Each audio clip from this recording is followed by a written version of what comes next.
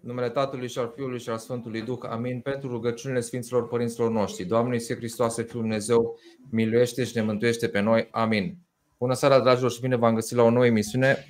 Este, de fapt, o emisiune pe care îmi doream de foarte mult timp să o fac și mă bucur că am reușit să dau de invitatul pe care îl veți putea urmări cu toți în seara aceasta. Este teologul, profilerul uh, Mihai Vladu, Dânsul mai are și alte specializări, dar ne va vorbi în cele ce urmează despre dânsul mai multe, vom afla chiar de la, de la dumnealui. Și vom vorbi despre uh, patimi în limbaj duhovnicesc sau despre adicții în uh, limbajul uh, laic, uh, specific psihologilor sau uh, psihiatrilor, pentru că problema patimilor sau a adicțiilor este una care, din punctul meu de vedere și gândindu-mă la propria mea viață, fără să mă compar cu alții, este sau sunt o serie de defecte ale personalității care mi-au dat foarte mult de cap. Și voi încerca pentru mine, dar și pentru domniile voastre, cele ce urmează, să vedem dacă putem să găsim niște soluții. Domnule Mihai Vladu, mulțumesc pentru faptul că ați acceptat invitația mea de a avea acest podcast. Și dați-mi voie prima mea întrebare, care este una pe care o adresez în general tuturor invitaților care vin prima oară în podcastul meu Uh, o să vă rog să spuneți câteva cuvinte despre dumneavoastră. Doamne ajută, eu mulțumesc pentru invitație. Uh, câteva cuvinte despre mine.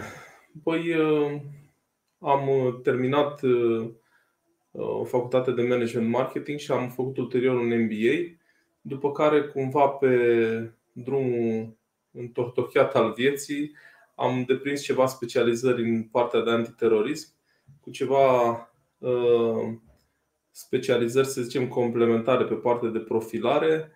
Între anii 2011-2013 am uh, condus acest tip de operațiuni pentru familia regală din Bahrain, în Orientul Mijlociu. M-am întors în țară în 2013, am rămas aici, am activat în mediul de securitate privată, iar uh, din 2018 mi-am făcut o activitate proprie, o firmă care este specializată pe detectare comportament simulat, adică cu alte cuvinte pot spune cumva destul de repede când minte cineva, și consultanță în afaceri. Și consultanța în afaceri se face, să zicem, îngrefată pe această specializare de profilare. În altă ordine de idei, viața mea o pot împărți și altfel, până uh, la redescoperirea lui Hristos, pentru că nu am fost niciodată divorțat de el, să zicem, doar că nu înțelegeam sub nicio formă despre ce este vorba. Și undeva în preajma vârstei de 30 de ani m-am reîntors în biserică. Uh, am început să adâncesc, uh, să zicem așa, partea de teologie. Între noi fie spus, pe mine mă apasă foarte tare prezentarea ca teolog, dar până la urmă teolog este oricine vorbește cu Dumnezeu, deci oricine se roagă este teolog. Și Uh, am început în acest sens o căutare personală, după care, făcând ascultare, am uh, terminat uh, un master în teologie, o facultate și acum, cu ajutorul Dumnezeu, voi susține licența și la a doua facultate de teologie.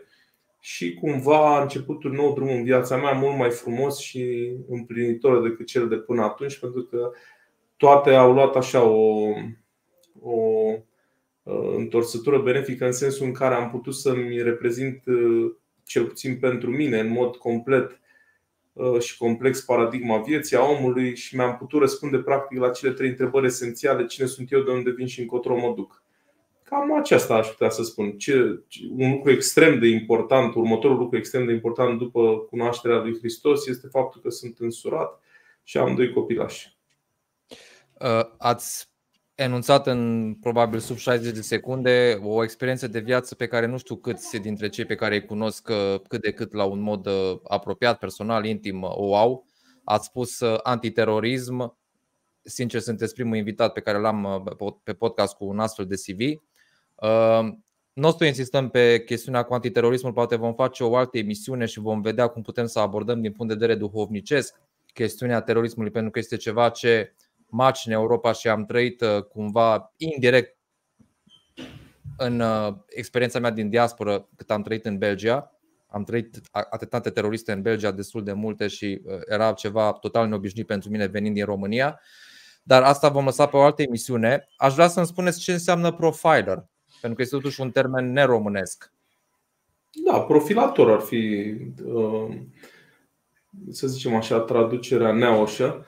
Profilator înseamnă uh, acea persoană care poate, dacă vreți, uh, izola un individ dintr-un grup sau un subgrup dintr-un grup mai mare sau un grup dintr-o mulțime de grupuri și poate, într-un termen relativ destul de scurt, să aibă o radiografie, un RMN cât mai aproape de, de partea exhaustivă a persoanei sau a grupului sau a subgrupului respectiv.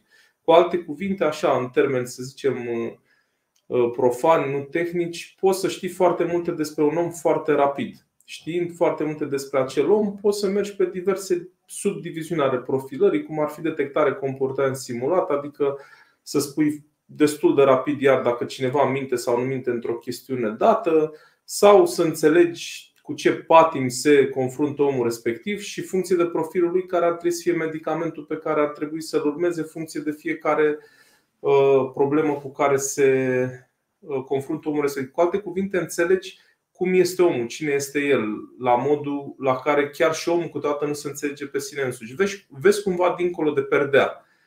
Pentru că oamenii, noi toți, de fapt nu oamenii, purtăm tot felul de măști, funcție de fiecare conjunctură și atunci este cineva care poate să vadă dincolo de aceste măști. Bineînțeles, acum contează și uh, motivația și referențialul pe care îl are profilatorul, pentru că profilatori foarte buni sunt și cei care ne manipulează în ziua de astăzi către, să zicem, o societate consumeristă sau către uh, valori total anti-ortodoxe și așa mai departe. Adică, cu alte cuvinte, depinde, depinde foarte mult de referențialul profilatorului. Dar cam asta înseamnă să fii profilator, să știi repede despre celălalt cam care e hramul lui. Știți cum, cum se spune popular la noi.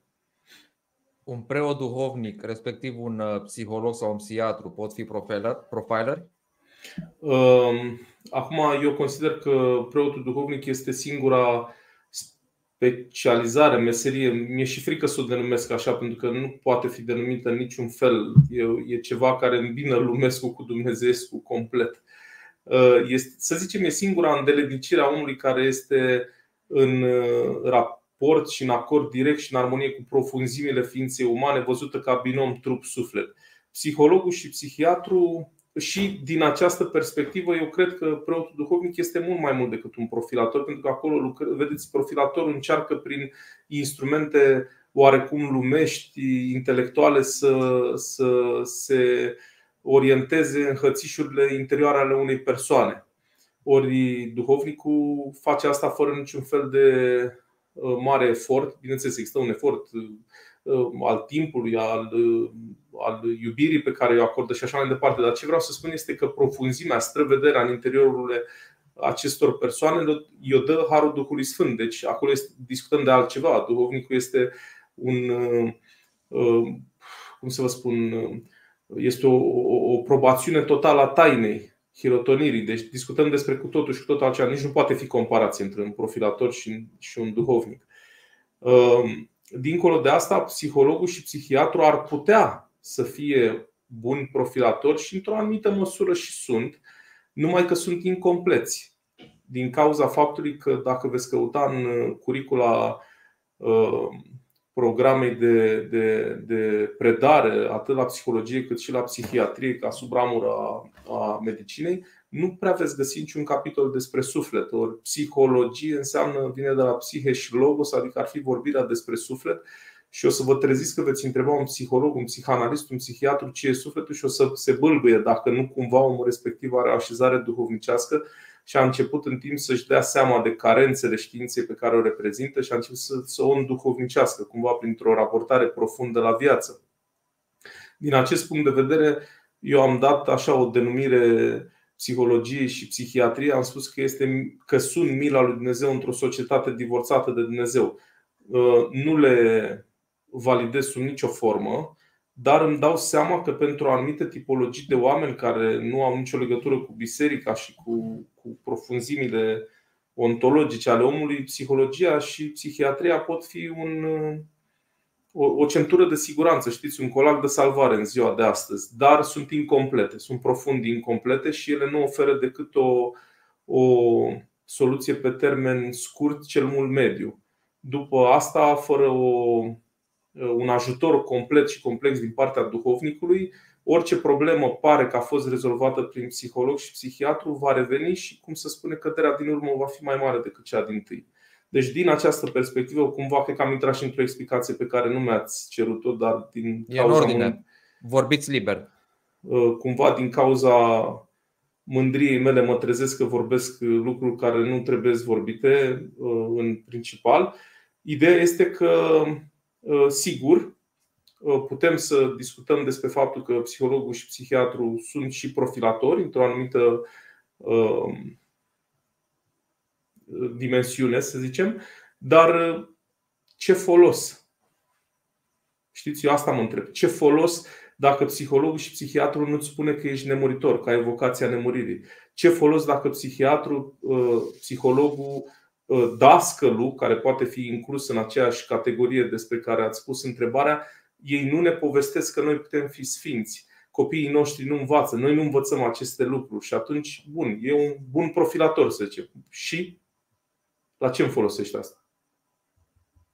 Asta e întrebarea care pe mine mă, mă macină destul de mult în, în ultimul timp, mai ales că și eu am copilași mici și mai ales că uh, lucrez cumva cu mulți copii și tineri care toți arată uh, aceeași cauza patologiei sufletești, anume faptul că ei nu știu că sunt nemuritori.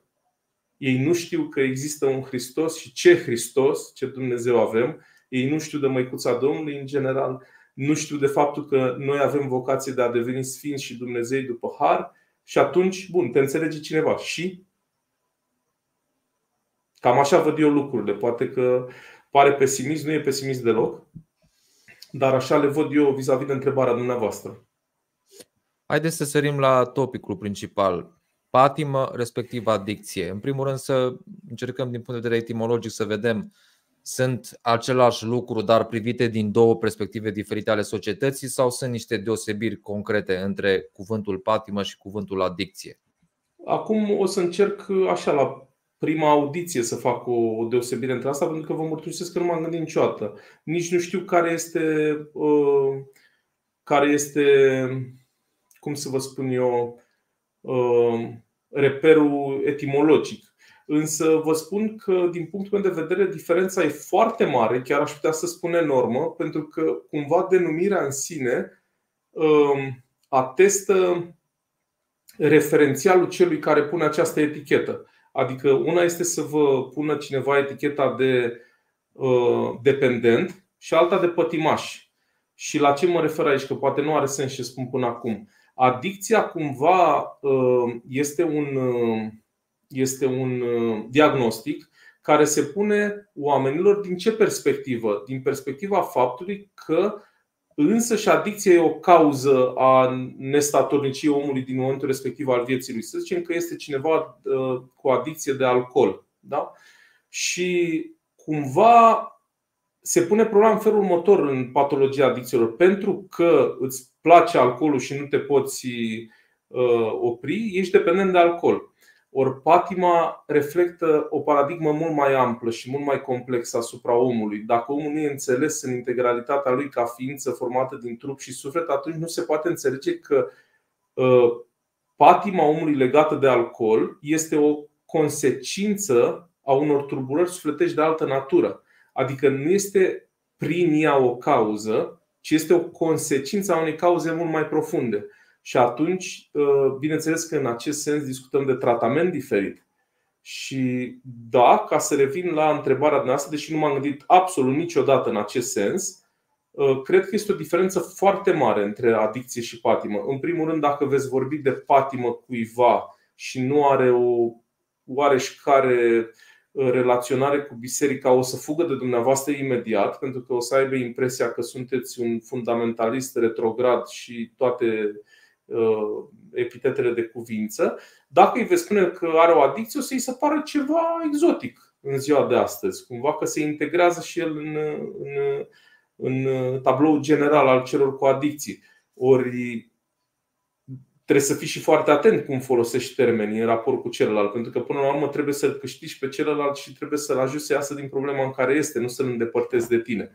Dar asta e foarte delicată problema în momentul de față, mai cu seamă că Eu aș număra pe degetele de la o mână oamenii pe care i-am cunoscut fără uh, patimi și eu nefiind unul dintre ei.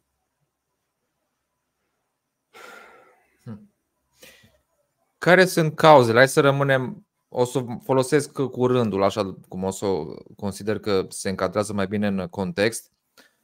Uh, cuvântul patimă, respectiv cuvântul adicție. Care credeți dumneavoastră că este sau care sunt, dacă sunt mai multe, cauzele patimilor? Am să dau o explicație cum să vă spun eu, subcintă, după care o să vă rog să-mi dați voie să intru un pic în subiect pentru că e foarte delicat, adică nu se va înțelege ce vreau să spun de către majoritatea oamenilor și nu pentru că aș fi eu vreun deștept, ci pentru că e nevoie să reflectăm un pic asupra condiției omului, integralitatea ei. Uh, practic, patimile au, din punctul meu de vedere, au două posibile uh, cauze, fie uh, de sine stătătoare, fie cumulative principala ca și frecvență în rândul celor pe care i-am observat în timp este neprimirea unei iubiri manifestate după trebuințele omului respectiv în copilăria lui din partea părinților. Asta e una dintre cauze. A doua cauză este conjuncturală și ține de ceea ce noi numim uh, anturaj. Adică, cu alte cuvinte, poate să fie un copilaș care să se fi bucurat de o dragoste a părinților în mod absolut fericit, dar ajungând într-un anumit anturaj în viață să cadă pradă diverselor ispite care apar ca să fie integrat într-un mediu, casă, casă, casă, casă. Știm foarte bine fiecare dintre noi că și noi am fost adolescenți și tineri. Uh, sau poate să pice într-o patimă numai și numai pentru că nu are simțit această dragoste și atunci din dorința de a se anestezia se ajunge la așa ceva. Spre exemplu, dacă veți observa societatea Uh, din Marea Britanie astăzi, veți observa un reflex, anume faptul că uh, între 20 probabil și 50 plus, uh, de câte ori au ocazia, poate că în fiecare zi, dacă buzunarul le permite, tinerii și oamenii în general se duc în bar și pleacă de acolo pe șapte cărări. Nu poate să arate o adicție de alcool la nivel generalizat acest fapt, ci arată o nestatornicie și o problemă sufletească ieșită din comun a nației în sine. Nu o să intru în detalii, am dat doar un exemplu. Acum, care e problema la adânc? Uh, așa cum se discută despre trup și despre anatomia lui, plecând de la cap, trunchi, membre superioare, inferioare și așa mai departe, de la, de la exterior către interior, ar trebui vorbit și ar trebui să facem cunoscut copiilor noștri încă din școală, bineînțeles că e utopic ce spun eu acum, anatomia sufletului, pentru că sufletul are o anatomie. Ori dacă vreți într-o formă extrem de subcintă ca să pot să ajung unde vreau să ajung cu explicația, sufletul este uh, format, dacă vreți, din trei camere, iar în fiecare cameră sunt sădite anumite puteri sufletești pe care Dumnezeu le pune la dispoziția omului. În prima cameră, să zicem, sunt uh, cele care țin de, de creștere, dezvoltarea vieții și supraviețuire și ele nu intră sub incidența Uh, liberului arbitru al omului. Practic, omul nu poate să dispună de aceste puteri sfătești. Ele sunt și funcționează. Adică omul, dacă mănâncă, crește, omul, dacă mănâncă și bea sănătos, trăiește și omul, uh, dacă, spre exemplu, are un raport trupesc care ajunge la finalitate firească, există șansa să procreeze pentru că puterea de a procrea nu îi aparține lui și nu are dispoziția asupra ei după bunul cherem, ci Uh, toate astea sunt circumscrise omului. Vedeți înțelepciunea și iubirea absolută a lui Dumnezeu. Dacă ar fi pus toate aceste puteri sfătești din prima cameră a Sfântului la cheremul nostru, vă dați seama ce am fi făcut noi astăzi cu ele?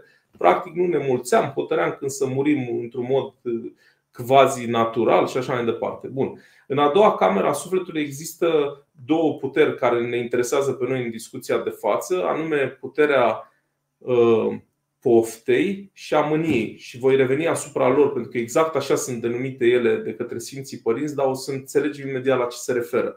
În a treia cameră a sufletului, care este denumită și Duh, adică când auziți de tripartiția trup, suflet, Duh, aici se, se înghesuie o mică eroare.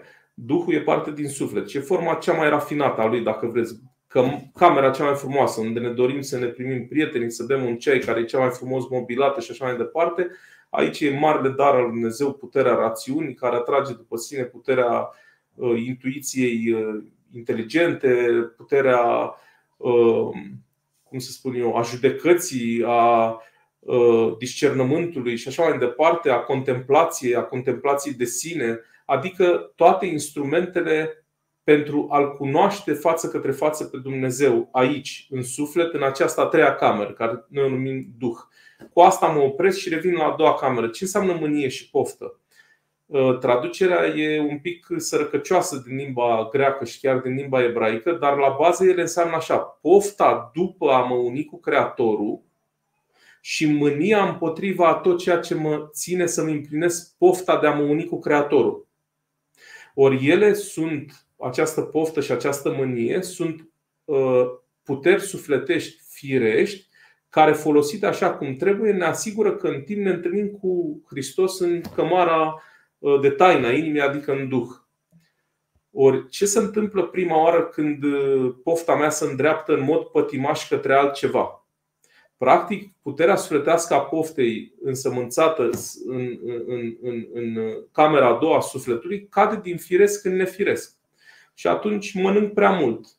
Asta se numește uh, bulimie în termen de psihologie, în termen duhovnicesc se numește gastrimahie. Practic, uh, îmi fac idol din mâncare, îmi fac Dumnezeu din mâncare. Ce se întâmplă în momentul respectiv cu mânia? Ca, ca forță sufletească firească, care mă, mă apără de tot ce se interpune între mine și Hristos în mod normal.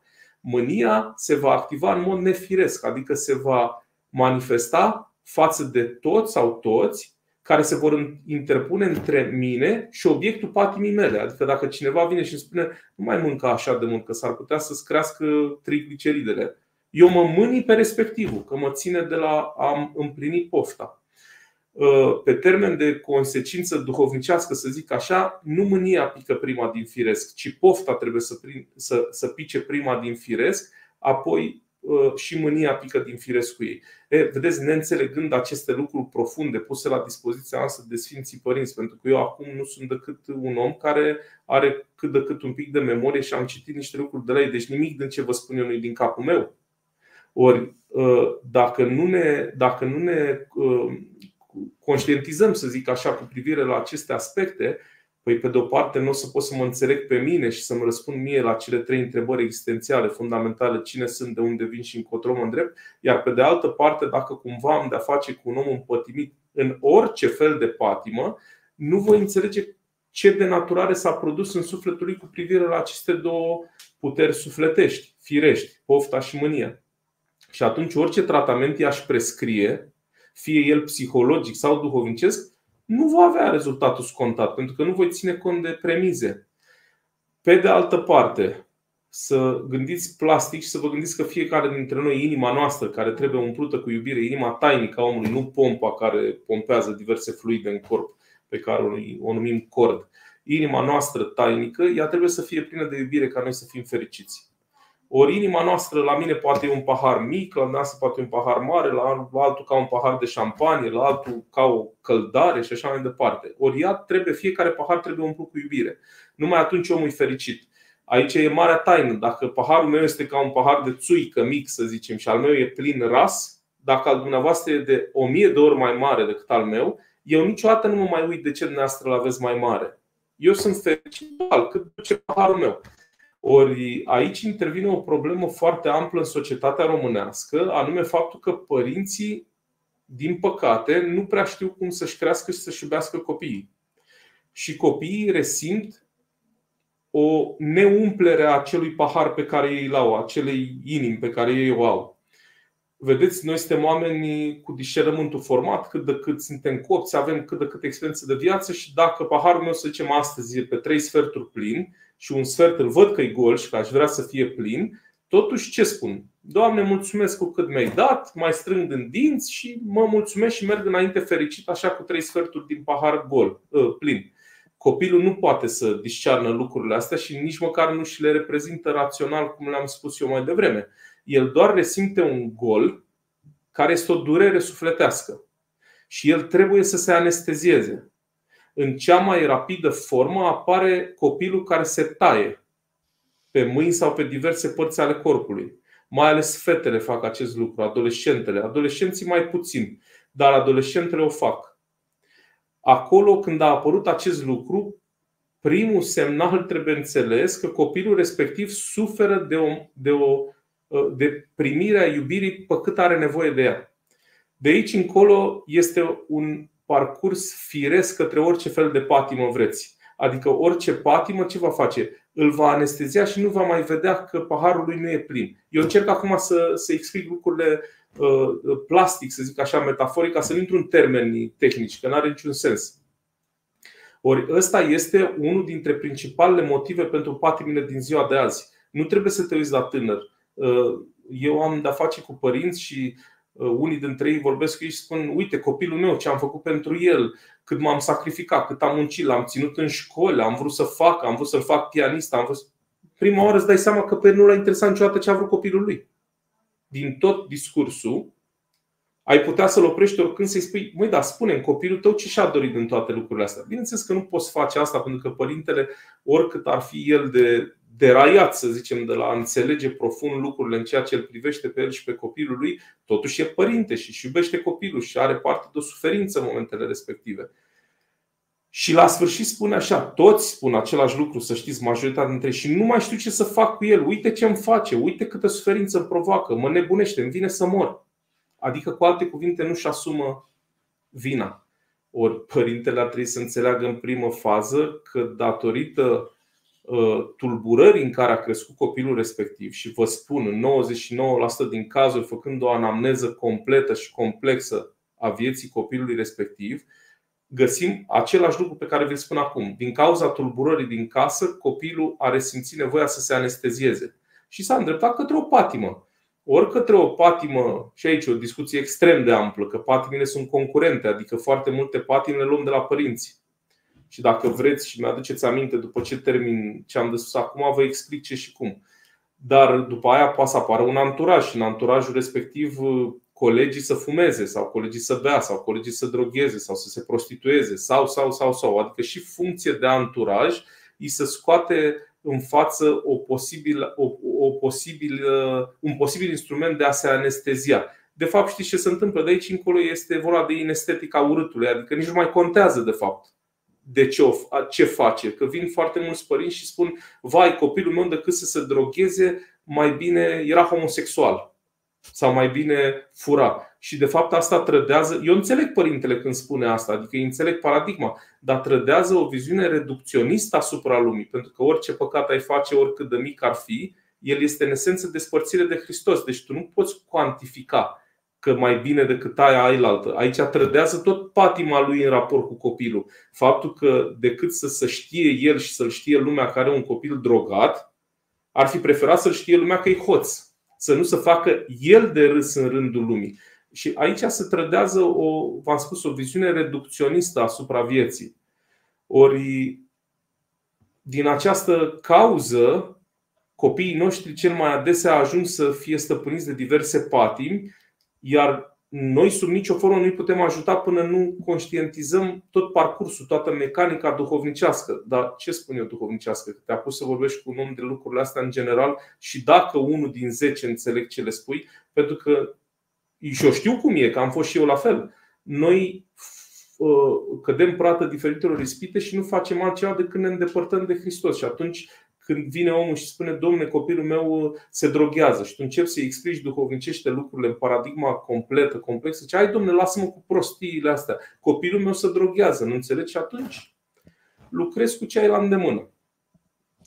Deci, pe scurt, apare patima când puterea sufletească a, a poftei și a mâniei, avându-l ca referențial pe Dumnezeu, cad în nefiresc. Îmi vine în minte acea scenă din Moromeții în care Ion își cheamă băieții să-l ajute la muncă. Unul dintre ei se răzvrătește împotriva tatălui, refuză și Ion se duce în curte, face câteva ture de curte, după care revine, pune mâna pe un băț și rupe cu bătaia pe amândoi. În același timp strigând și cumva dojenindu-i uh, din frustrarea sa că el a ținut pământul și de, de pământ și de tot ce a muncit, a muncit pentru ei. Este cumva o paradigmă care cred că se regăsește în toate familiile, e cumva o chestie genetică, așa de neam. Am trăit-o și eu uh, în copilărie față de părinții mei. Să înțeleg că metoda pe care Moromete, bătrânul, o aplică este una greșită străină de ceea ce a spus până acum? Uh, în acel context, în acel context. Acum, revenind, de acel context, revenind la acel context, uh, simțul proprietății la român face parte integrantă din etosul românesc, din etosul neamului românesc. Uh, ceea ce nu mai a discutat despre etos, despre etos și despre etosul românesc, cred că nu ne ajung două emisiuni în sine.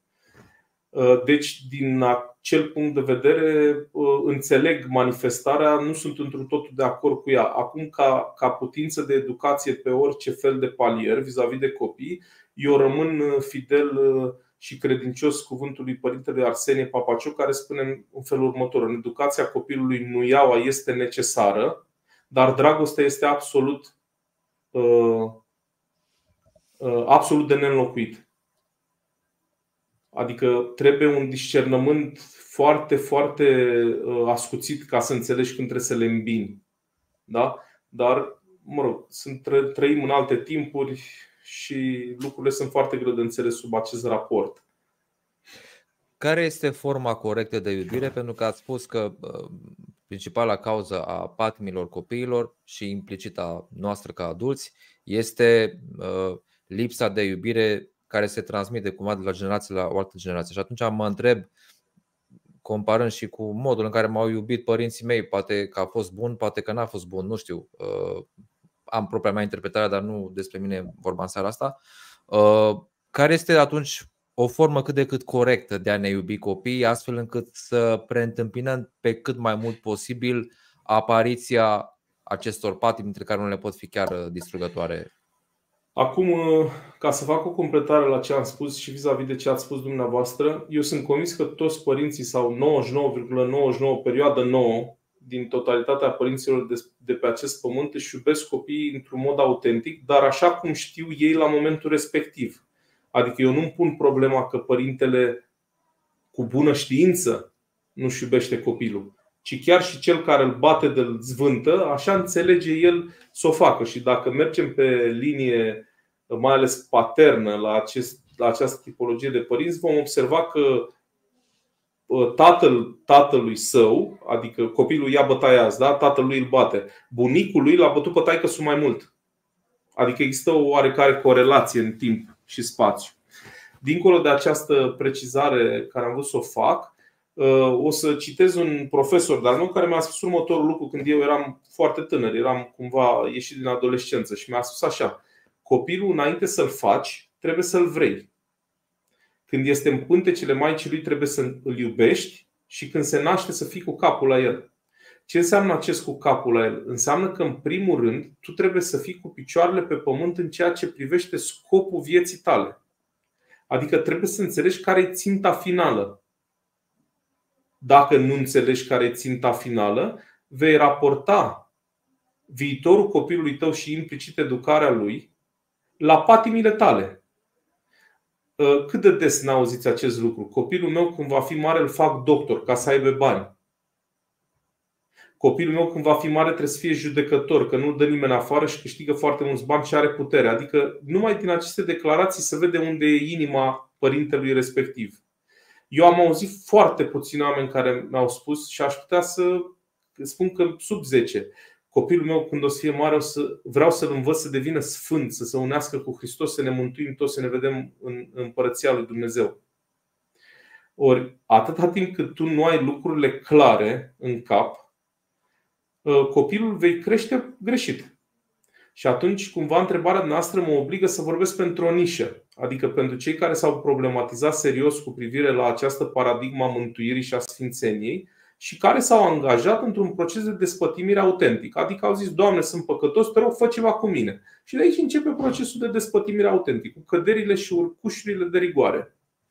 Ori un părinte de genul acesta trebuie să fie cu capul la copilul lui ca să-l crească sfânt, să-l crească sfânt, copilul să sfințească.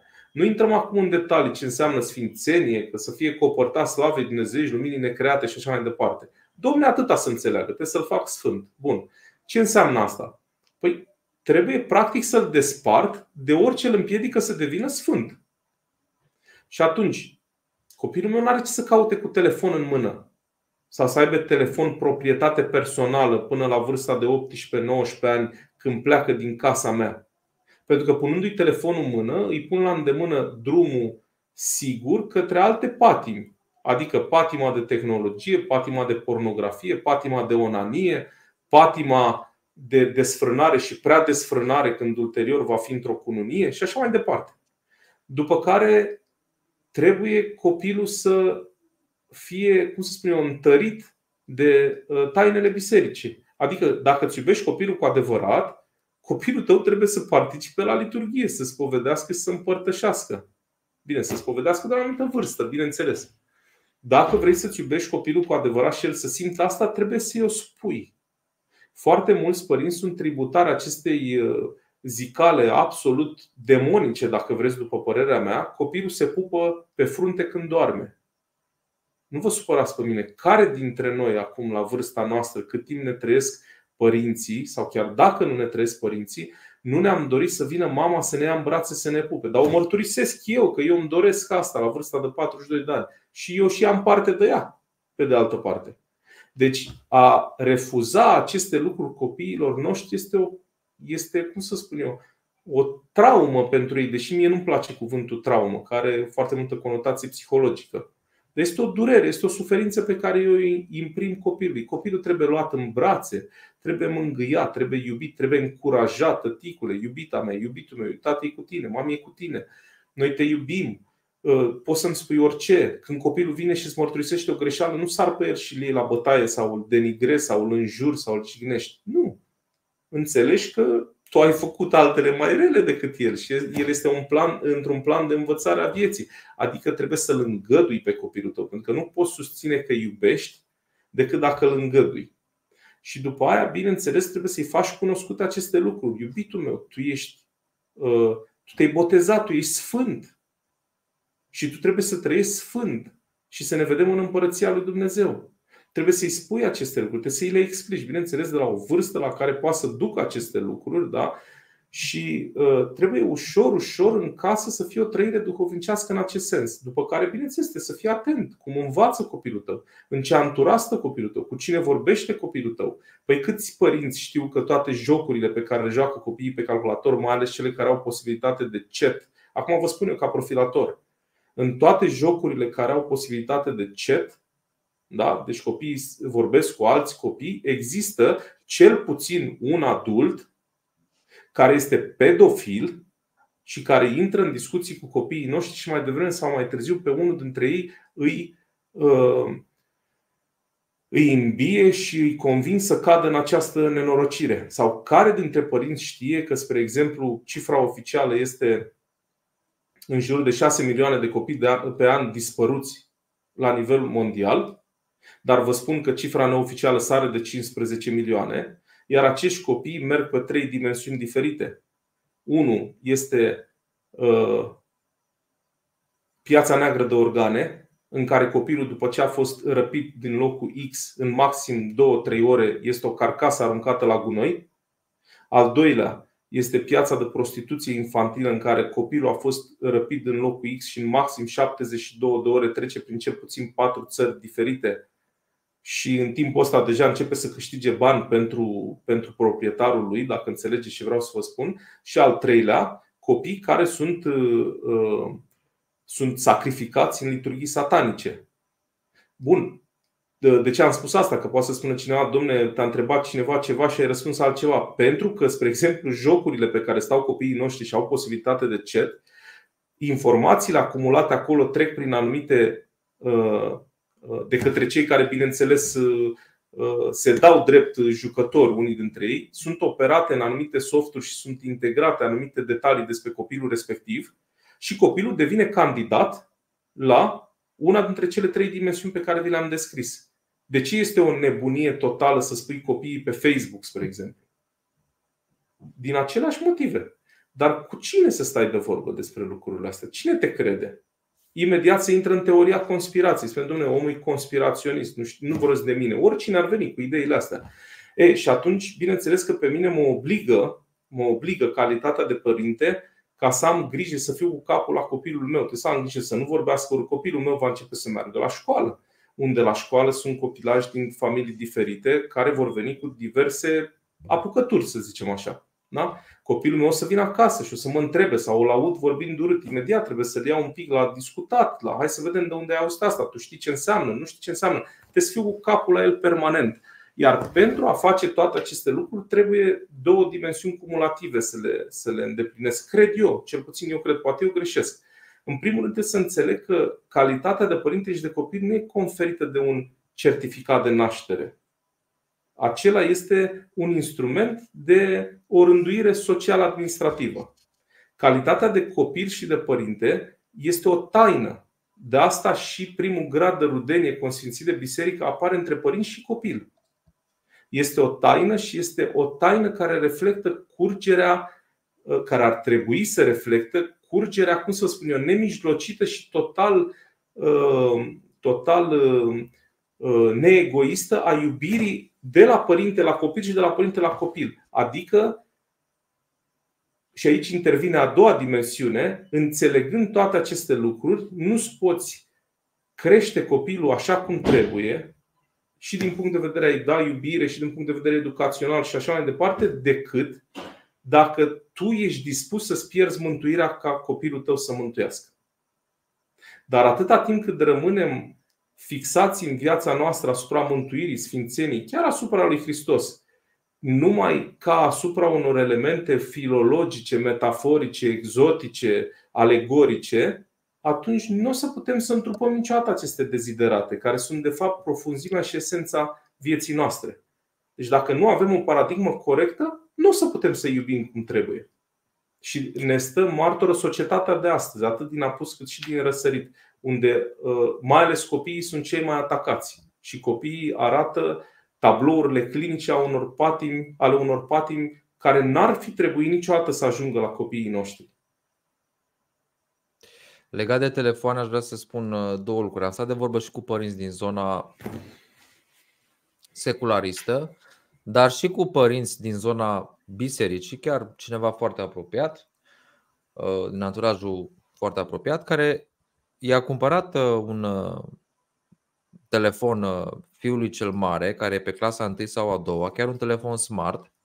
Și când i-am spus, mai mult sau mai puțin, în cuvintele mele, cât m-am priceput, că nu e o idee neapărat bună și că ar fi trebuit poate să-i cumpere cel mult un telefon cu butoane, cum era pe timpuri, mi-a replicat că a făcut-o din cauza faptului că există o presiune care vine de multe ori chiar din partea copilului care la rândul său este presat de anturajul de la școală, pentru că toți ceilalți copii au telefoane smart și se joacă pe ele, au WhatsApp, au poate n-au neapărat și conturi pe rețele de socializare, dar în orice caz WhatsApp au uh, și joculețe și mai departe și, practic, copilul acela se va simți discriminat, se va simți de propria sa familie, se va simți, va fi o presiune psihologică. Și ne-a spus că nu sunt probleme, că i-am pus control parental. Sunt aplicații, pui control parental și copilul, mă rog, nu instalezi niciun fel de joc, are doar WhatsApp, să zicem, și mă sună, nu știu ce, poate să mă sune cu video call uh, și cât nu se pune problema să intre pe site-uri porno pentru că are control parental care blochează. Este bună și abordarea asta sau din potrivă e o cutie a Pandorei? Nu, nu este bună sub nicio formă. Dar haideți să discutăm un plan pragmatic, ceea ce am spus mai devreme, raportat la întrebarea dumneavoastră. Să fiu cu capul la copilul meu înseamnă să identific cea mai bună școală pentru copilul meu în momentul în care vine vremea. Bine, ar trebui să mă intereseze mai de mult acest aspect. Deci nu mă interesează în același an când îl înscriu. Ori eu vă spun că există în România școli unde copiii nu au voie cu telefonul la ore. Și atunci, dacă într-adevăr uh, crezi tu că copilul tău va resimți această presiune, deși vă spun eu că nu va resimți dacă știi să explici și știi să, să te, să te uh, manifesti ca atare, și am să vă spun imediat cum, dacă într-adevăr te interesează, identifici școli unde, acest, unde copilul tău nu va resimți această presiune. Dar pentru asta trebuie un pic să rup din tine, să rup din timpul tău, să te intereseze, să cauți, să te duci să vorbești, să faci un oarecare efort pe care oamenii nu sunt dispuși să-l facă, să știți. Foarte mulți oameni spun, aș face orice pentru copilul meu. Vă spune din experiență personală cu ei, când copiii lor sunt cu probleme și ei sărăcuții nu mai știu ce să facă, că nu toți sunt dispuși să facă orice. Marea majoritate nu sunt dispuși să facă chiar orice. Sunt dispuși să facă orice până iese din zona de confort. Deci ăsta ar fi un aspect. Al doilea aspect este următorul. Să zicem că copilul tău nu are telefon și este într-o uh, clasă, uh, într-o școală unde copiii au telefon. Foarte bine. Și el vine acasă și spune, tăticul, aș vrea și o telefon. Și atunci îl întrebi, dar ce ai vrea să faci cu el, iubitul meu? Păi aș vrea să mă joc. Dar nu vrei tu, tăticule, să ne jucăm noi acum? Uh, și un joc. Să-i dai un joc, să-i dai o activitate. Da, tăticule, dar aș vrea să mă uit la nu știu ce desene. Păi, hai, tăticule, să spun eu alte desene, să ne uităm împreună la ele. Ce presupune asta? Presupune să ai o minte elastică, să gândești lateral și să reușești, dacă vreți, între ghilimele, să-ți manipulezi copilul, de fapt să-i abați atenția, nu să-l manipulezi, spre lucrurile care sunt cu adevărat ziditoare pentru el. Dar încă o dată revin, aici e marea problemă. Asta înseamnă să fii dispus să rupi din timpul tău, din patimile tale, din interesele tale, ca să-l dai copilului tău. Ori asta înseamnă să rup din tine. Asta e definiția iubirii. A iubi înseamnă să rup din tine. Și după cum observăm, majoritatea părinților nu sunt dispuși să facă acest lucru. Dacă vă veți duce la un restaurant cu familia sau singur și veți observa în jur familiile cu copii de la restaurante, veți observa că în proporție de peste 95% adulții discută între ei și copiii stau pe telefoane. Pentru că adulții vor să se relaxeze au ieșit în oraș să relaxeze. Ori ă, dacă ei chiar ar lua în serios paradigma duhovnicească de mai devreme de care discutam, ar trebui să știe că în fața lui Hristos ți se va cere uh, socoteală despre ce ai făcut cu copiii, așa să spune rugăciune, cu sufletele copiilor pe care ți-am dat. Adică, uh, știți, există la fiecare problemă adâncim și adâncime ale înțelegerii o adâncime mai mare aici ar fi următoarea. Copilul nu e al nostru. E lăsat în locație de gestiune, dacă vreți, în termeni pragmatici și economici. Adică ne lasă Hristos ca să-l creștem sfânt și o să ne ceară socoteală ce am făcut cu el. Și inclusiv de ce am dat telefonul și alte lucruri asemenea. Vedeți, nu e neapărat nevoie a accesa un site pornografic, să zicem, ca să se îndeplinească o problemă legată de, de accesul copilului la tehnologie. În primul rând, copilul stând pe tehnologie de orice fel ar fi ea, el se sălbăticește, el trăiește în virtual. El nu mai are taina experienței persoanei.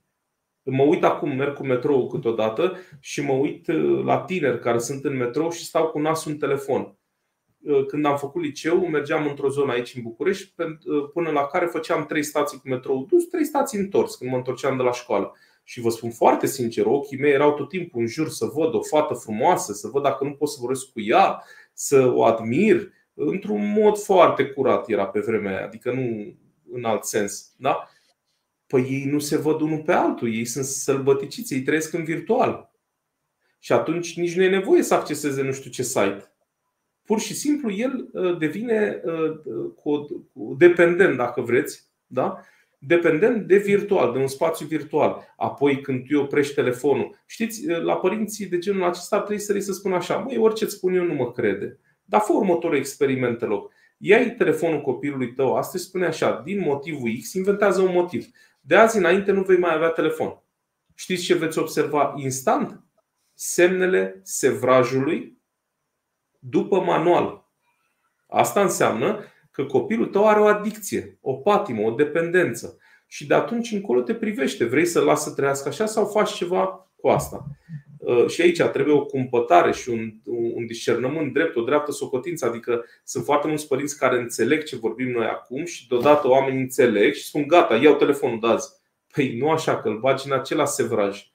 Telefonul se ia graduat gradual, da? de se ia ușor, ușor, se împuținează experiența cu stimulul adicției Dar timpul ăla trebuie umplut de taina experienței personale. Adică din momentul respectiv, dau un exemplu, copilul stătea 4 ore pe zi la telefon. De astăzi stă 3 ore jumate. Bun, dar jumătate de oră o umpli cu ceva, cu experiența ta cu el. Faci ceva cu el, îl ții într-o zonă, trebuie înlocuit de iubire. Pentru că copilul tău, ca să revenim la prima întrebare, primele întrebări, copilul a ajuns dependent de tehnologie pentru că el nu resimte iubirea ta manifestată așa cum și-o dorește el. Pentru asta trebuie să-ți cunoști copilul, trebuie să fii cu mintea la el și, repet, dacă nu se înțeleg lucrurile în profunzime, consecințele sunt mai mult decât firești. Rămânem un pic tot în registrul acesta și am și interes personal de a vă adresa următoarele două întrebări. Um, prima, de la șapte ani în sus, când copilul ar, sau de la șase ani în sus, când copilul se presupune că ar merge la, um, pe clasa întâi, este normal să mă gândesc să-i dau un telefon cu butoane pentru că va fi singur, nu va mai fi un număr de ore destul de mare pe zi uh, în apropierea mea și deci nu voi mai putea să-l supraveghez și probabil că va avea nevoie să mă contacteze cumva. Asta este prima întrebare și a doua întrebare tot în registrul ăsta. Um, cum este mai bine după ce concediul maternal al mamei se termină, cei doi ani, și ea nu mai este permanent cu el? Ce face în situația aceea? Pentru că în cele mai multe cazuri părinții în România și asta este metoda și în Occident, așa, am fost, așa era și în Belgia. Chiar în Belgia nici măcar nu există acești doi ani, mi se pare numai 3 sau 6 luni maxim pentru mame, după care se întorc la muncă. Copilul este băgat în creșă sau, mă rog, cum se mai numesc prin alte țări, de la o vârstă foarte fragedă și niște lucrători ai statului de obicei devin surogați părinți surogat, mame și tate, pentru copiii respectivi. Iar copilul este preluat după masa când cei doi părinți și-au terminat jobul. Și această după masă uneori poate să fie chiar și seara târziu. Deci copilul nu își vede, în marea majoritate a zilei, nu își vede părinți. Și atunci eu am această temere, eu personal pentru mine, că voi fi tătic în curând, am această temere. Ce se va întâmpla după cei doi ani în care soția mea își termină concediul maternal? Ar trebui să mergem pe ceea ce fac majoritatea părinților în societatea de astăzi și să-mi bag copilul la o creșă? Sau din potrivă trebuie să facem niște sacrificii și unul dintre cei doi părinți va trebui să mai stea încă câțiva ani acasă. O să iau în ordine întrebările. Întrebările sunt foarte bune. În primul și primul răspunsul e nu. Nu ar trebui să mă gândesc la acest lucru și să vă spun ce spune David în sală. În zadar ar păzește la rezultatul la Dumnezeu. Mă iertați, e o problemă cu sunetul. E o problemă cu sunetul la dumneavoastră. Mă iertați. Se aude foarte bă, întrerupt. Acum se aude mai bine, mai bine? Nu, nu se aude foarte bă, îngroșat așa. Acum, acum? Nu.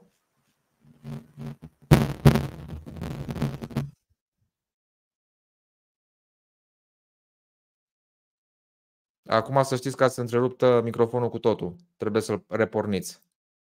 Trebuie să reporniți microfonul pentru că s-a întrerupt. Acum auziți? Da, acum e bine. E în ordine. S-a auzit foarte vâj, un vâjit foarte puternic. Da, nu știu ce s-a întâmplat. Uh, ce iertare. Nicio problemă. Eu, eu îmi cer iertare. Uh, în primul și în primul rând, uh, răspunsul este nu. Uh, deci, nu e un gând corect și vă spun de ce. Copilul când e mic, în general, el nu merge singur la școală. Da? Adică cineva îl duce, cineva îl aduce. Și atunci, pentru ce să aibă telefon? Că nu înțeleg. De ce să mă sune? El e la școală. Dacă se întâmplă ceva la școală, lumea știe de la școală pe cine să sune. Direcțiunea, profesorul, învățătorul știe să mă sune direct. Deci asta nu este un gând bun, asta e o păcăleală. Copilul poate să trăiască fără telefon, bine mersi. După care, uh, uh, această mentalitate trebuie pur și simplu uh, menținută pe tot parcursul vieții copilului până la finalizarea adolescenței, când oricum el devine liber și atunci poate să-și facă alegerile pe care le dorește. Dar să le facă, cum să spun eu, informat, adică să înțeleagă toate aceste lucruri. Că va veni un moment în timp când nu o să mai pot să-l țin eu fără telefon, dar e treaba lui ce face de atunci încolo. Eu oricum l-am păzit un timp îndelungat de efectele nocive ale telefonului. În altă ordine de idei, ă, aici iar este o problemă, în sensul în care, vedeți, ă, păcăleala aceasta vine pe un fond de frică, de nesiguranță pentru copil și pentru viața lui. Ori dacă noi am învățat, spre exemplu, să avem un dialog viu personal, personal cu Dumnezeu și cu Măicuța Domnului, noi am strigat la măicuța Domnului și am spune, măicuța Domnului, eu îți dau copilul meu, ai grijă de el. Eu nu pot să fiu alături de el în fiecare moment al vieții lui. Și uh, oamenii care vor face acest lucru vor avea o surpriză, în sensul în care vor vedea că se împlinește această rugăciune. Adică Maica Domnului chiar va avea grijă de copil. Dar asta ține, repet, o anumită paradigmă, de o anumită paradigmă și de fapt faptul de a-mi dori să am o experiență vie, un dialog personal cu Maica Domnului și cu Hristos. Uh, trecând la a doua întrebare. Acești șapte ani de acasă, cum se spune la noi în popor, ascund un uh, adevăr fundamental. Anume faptul cu cât copilul e luat mai devreme din sânul familiei și dacă veți urmări în general toate proiectele legislative de peste tot din lume merg în acest sens, copilul să fie smuls din casă cât mai rapid cu putință, uh, cu cât pleacă mai devreme, cu atât el va resimți o lipsă de iubire mai profundă și se, se, seamăn, se ară ogorul inimii lui pentru apariția patimilor. Ăsta e un fapt cert. Pentru mine, cel puțin, e cert. În acest sens, contează foarte, foarte mult ca copilașul să stea cu părintele și mai ales cu mama, mai ales cu mama, până spre vârsta de 6-7 ani. Acum există două alte dimensiuni ale vieții, două opțiuni. Anume faptul că s-ar putea să fie posibil așa ceva pentru părinți, din punct de vedere financiar, să zicem, sau s-ar putea să fie cu totul și cu totul imposibil. Unde este imposibil, acolo acoperă Dumnezeu. Am văzut cazuri clare. Am văzut cazuri în timp, pe 10-15 ani. Și acolo acoperă Dumnezeu și cumva copilașul rămâne neatins de toate, uh, toate aceste trăiri care vin către el. Unde este posibil însă, dacă nu se face uh, acest lucru, copilul, repet, cu siguranță va fi predispus multor patimi. Ce înseamnă dacă nu se face posibil? Foarte mulți oameni spun așa, nu pot să rămân cu el acasă, sau soția sau soțul nu poate să rămână acasă cu el, trebuie să muncim amândoi. Și se pune prima întrebare. De ce nu se poate? Nu câștigăm destui bani. Ia pune pe hârtie câți bani îți trebuie pe lună. Dar aici, vedeți, important este să ne mulțumim în primul rând cu strictul necesar în momentul în care ne punem această problemă. Și de foarte multe ori, dacă omul pune pe hârtie bugetul de care are nevoie lunar, va observa că numai prin efortul unuia dintre părinți se va putea atinge acel obiectiv financiar. Numai că omul vine cu foarte, foarte multe dorințe, cu foarte multe pofte, care nu fac parte din firesc. Și atunci, pentru a-mi uh, asuma și a-mi împlini poftele acestea, e nevoie de bani, de cele mai multe ori. Deci, practic, trebuie o luciditate, o claritate foarte mare asupra nevoilor financiare ale familiei și asupra posibilităților de împlinire a lor. Dacă mă întrebați pe mine, este o diferență ca de la cer la pământ între un copil care stă primii șase ani acasă, mai ales cu mama, și un copil care stă prin creșe, grădinițe și în alte părți. Dar repet asta, acest lucru, dacă nu există posibilitatea, posibilitatea pur și simplu nu, nu se poate pune în practică, atunci Dumnezeu acoperă. Dacă există și nu o punem noi în practică, că avem alte uh, patim de îndeplinit, de împlinit, atunci Dumnezeu nu prea acoperă. Care sunt cauzele suferințelor în România după 1989 încoace? Pentru că n-aș vrea să mă duc în perioada comunistă, pentru că am așa sentimentul că am intrat pe un tărâm destul de nebulos. Atunci vreau să mă concentrez pentru că trăim totuși într-o altă paradigmă din 89 încoace și mai ales din 2007 încoace și vreau să înțeleg dacă noul context, pentru că este totuși un context nou pentru România comparativ cu țările din Occident. Eu am trăit un șoc cultural în 2014 când m-am dus în Belgia, am avut un șoc cultural în care m-a dus chiar la o depresie uh, și mi-am revenit după câțiva ani și vorbim totuși de o țară care se află aici, pe continentul european, nu vorbim de Japonia sau de o țară care este complet uh, incompatibilă din punct de vedere cultural cu noi. Deci există niște suferințe în România care nu au rezolvare din ce văd eu din punct de vedere politic. Politicienii nu pot să rezolve aceste suferințe. Sunt anumite chestiuni care sunt în area lor de acoperire și nu o fac, dar sunt și altele care e clar că prin legi parlamentare sau guvernamentale nu pot fi rezolvate. La acel gen de suferințe mă refer, vreau să înțeleg care sunt cauzele acelor suferințe și vreau să vedem ce putem să facem. Cauzele suferinței de orice tip ar fi ea nu sunt legate de timp, de timpul în care trăiește omul. În primul rând trebuie definită suferința. Ce înseamnă suferință? Suferința înseamnă paradigma în care mă uit la ceva ce nu este conform cu voia mea. Spre exemplu, mi-am prins degetul la ușă și mi-am retezat uh, o bucată din el. Bineînțeles că nu-i voia mea, că nu vreau să scap de o bucată de deget.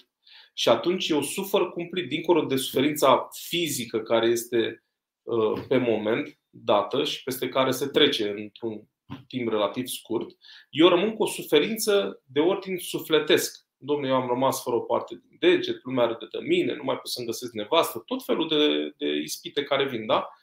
Sau un om care stă într-o boală de foarte mult timp, are o suferință. Dar dincolo de suferința fizică implicită, suferința, mare parte din suferința care e resimțită e modul în care se raportează el la ceea ce îi se întâmplă. Și practic, în momentul respectiv, declarația de adâncime este că Dumnezeu nu știe ce face. Adică se pierde din vedere faptul că orice ce ni se întâmplă, orice ni se întâmplă în viață este numai cu îngăduința lui Dumnezeu. Dacă am fost fericit toată viața și n-am fost bolnav de nimic, este că Dumnezeu a îngăduit asta. Dacă am avut trei tipuri de cancer și m-am operat de 18 ori, este că Dumnezeu a îngăduit asta.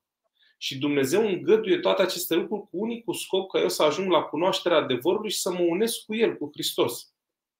Ori, de fapt, suferința asta înseamnă o nearmonizare a propriei realități la realitatea complexă din jurul nostru. Dincolo, de, ă, vis-a-vis de acest aspect, o să observăm suferința de când e omul pe pământ, de la Adam și Eva, de când au fost situați în rai, din rai, de atunci suferința este pe pământ, prin lipsire, prin patim, prin mai știu eu ce. Dincolo de asta, să aveți dreptate, cum a spus întrebarea. Adică, cumva se poate uh, surprinde un anumit aspect al suferinței în timpurile noastre după 1990. Și asta ține de raportarea românului la libertate. Anume, în timpul comunismului, uh, ceea ce durea foarte tare era privarea de libertate. De libertate de exprimare, de libertate de credință, de libertate de mai știu eu ce, de de călătorie, de uh, mișcare în spațiu internațional, uh, libertatea de a mânca mai multe lucruri decât să dădeau, libertatea de a te îmbrăca cu mai multe culori decât îți dădea voie sistemul sau mai știu eu ce. Ori, după Revoluție, s-a făcut o mișcare strategică senzațională din partea uh, neocomuniștilor, că de fapt nu sunt nici liberali, nici social-democrați, nici nimic în România, nici, de nicio culoare ar fi. Mă și buvnea râsul când a zis că politicienii nu pot rezolva aceste Politicienii nu pot rezolva nimic, nu aceste lucruri. Nimic pentru că nu vor. Nu că nu pot. Nu vor. Uh, uh, strategia extraordinară a acestor neocomuniști, care sunt din punctul de vedere mai răi și mai periculoși decât comuniștii dinainte, care cumva aveau lucrurile fățișe. Dar totul era pe față este că uh, au dat voi omului să se exprime în libertatea cum o înțelegea fiecare. Ori libertatea, dincolo de considerentele sociale, civice, bineînțeles că există o, o conotație a libertății în sens legislativ de neatârnare, da? atât statală cât și individuală. Practic, libertatea individuală uh, uh, se, cum să vă spun, se disjunge din, din dreptul constituțional și invers dreptul constituțional să disjunge din libertatea personală a omului în fața lui Dumnezeu. Ori, dincolo de această conotație juridică a libertății și cu, cu expresie civică ulterior, libertatea în complexitatea ei nu înseamnă decât libertate dinspre păcat. Atâta timp cât ești înlănțuit de păcat și de patimă, nu ești liber. Ori suferința vine din faptul că noi nu suntem liberi de păcat. În primul rând, noi am înțeles libertatea numai ca pe ceva exterior, mediului în care noi trăim, exterior nou. Adică ă, libertatea trebuie să mi-o asum în raport cu ceilalți. Nu, libertatea trebuie să mi-o asum în raport cu mine și cu patimile mele, în primul rând. De, din această cauză ă, ne uităm în, în ă, literatura specifică care surprinde biografiile multora din cei care au trecut prin temnițele comuniste, prin reeducare și mulți dintre ei spun ceva ce în raport de o anamneză psihiatrică sau psihologică i-ar încadra la schizofrenie. Eu vă spun științific vorbind. Spun așa, ce bine eram pușcărie, eram liberi. Și stai, îți stă mintea în loc și te gândești, băi, oamenii ăștia sunt uh, deranjați mental, nu au cum să spun așa. Bineînțeles că au cum să spună, pentru că ei acolo erau liberi dinspre păcat. Ori asta este expresia, cauza suferinței uh, societății românești după 1990. S-a înțeles libertatea ca ceva exterior, legislativ, uh, civic și, uh, de fapt, ne-a îndepărtat de Hristos. Și ne depărtăm pe fiecare zi ce trece. Unii dintre noi, alții se apropie și să dea Dumnezeu să ne apropiem toți. Din această cauză este foarte multă suferință. După aia, modul, expresia acestei suferințe se circumscrie unui, unui interval cu limite infinite. Adică unul suferă într-un fel, unul suferă în alt fel, după cum e clădit, după ce educație are, după ce școală a făcut, după unde s-a născut, la țară sau la sat și așa mai departe, în ce familie a trăit, adică funcție de profilul fiecăruia, pe scurt. Dar cauza suferinței noastre este una singură. Nu poți, vedeți, nu ai cum să îl cunoști pe Hristos, să intri într-o relație cu El și încă să suferi decât pe spații scurte. Adică tu poți să fii un om care îl cunoaște pe Hristos și îl experiază zilnic, da?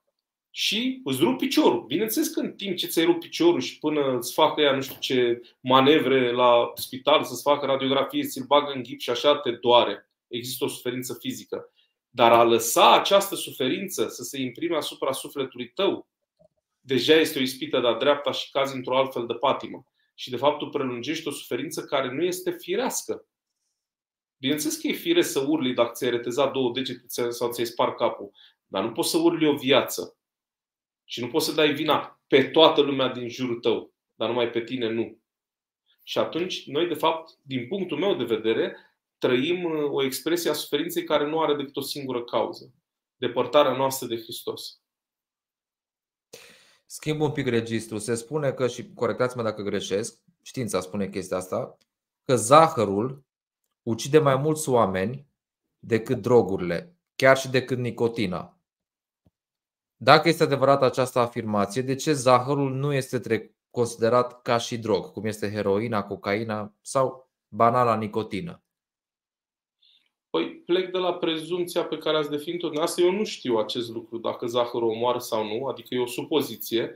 Plecăm de la ea și eu aș inversa cumva uh, discuția și v-aș întreba mult mai profund. Dacă se spune că drogurile sunt drog, de ce se legalizează uh, accesul la ele în anumite părți ale lumii? Adică eu aș inversa discuția cu totul cumva. Dacă într-adevăr zahărul face așa ceva și el este admis în continuare Uh, în viețile noastre, fie cei care au parte de aceste raportări și ar trebui să ia decizii în conformitate cu ele sunt criminali în masă, fie sunt incompetenți și nu înțeleg, uh, uh, să zic așa, consecințele în timp și spațiu a consumului de zahăr. Dar, vedeți, noi am ajuns într-o, într-o perioadă de răstălmăcire a firescului. Adică admitem, spre exemplu, că heroina este drog care omoară, și legalizăm în diverse țări din lume heroina, pentru că, vedeți, căderea australianului ar trebui să mă doară ca și căderea mea. Adică nu pot să pun o limită de spațiu între, între patima mea și patima australianului. Am dat un exemplu. Nu știu dacă în Australia e legalizată heroina. Am dat un exemplu, pur și simplu. Dar știu că, spre exemplu, în Canada e legalizată. Dați-mi voie să vă dau un citat de pe un site uh, care are mai multe studii științifice și spune așa titlul uh, o mâncare, este în engleză, îl traduc, o mâncare ultraprocesată, o dietă de mâncare ultraprocesată este conectată cu mai multe uh, cauze ale morții la nivel global decât tobacco, decât nicotina, decât presiunea arterială ridicată sau orice alt risc și la nivel global Uh, cuantifică 22% din, uh, din uh, cei care mor. Uh, nu, nu contest. În primul rând, eu nu am expertiză asupra acestor lucruri și chiar dacă aș citi ce citiți dumneavoastră, nu am aparat critic care să mă ajute să discern dacă e adevărat sau nu. Dar plecăm de la premiza că e adevărat. Păi numai dacă ne întoarcem înaintea întrupării Mântuitorului cu vreo mie de ani, dacă nu mă înșel și dăm de Socrate, Socrate spune așa, e plină piața de lucruri de care nu am trebuință.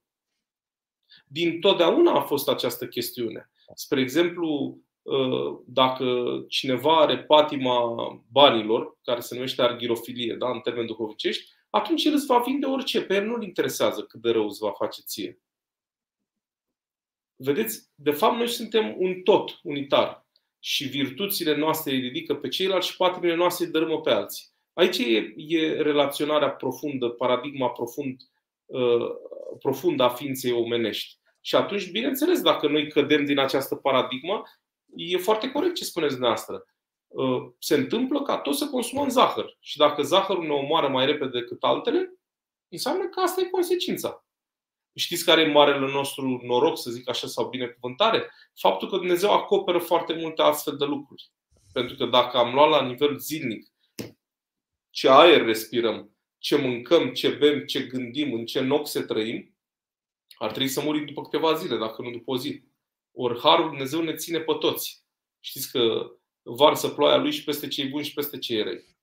Asta e iubirea lui Dumnezeu extraordinară. Numai că noi nu ne raportăm corect la această lume în care trăim. Și eu nu vorbesc numai de lumea materială, vizibilă.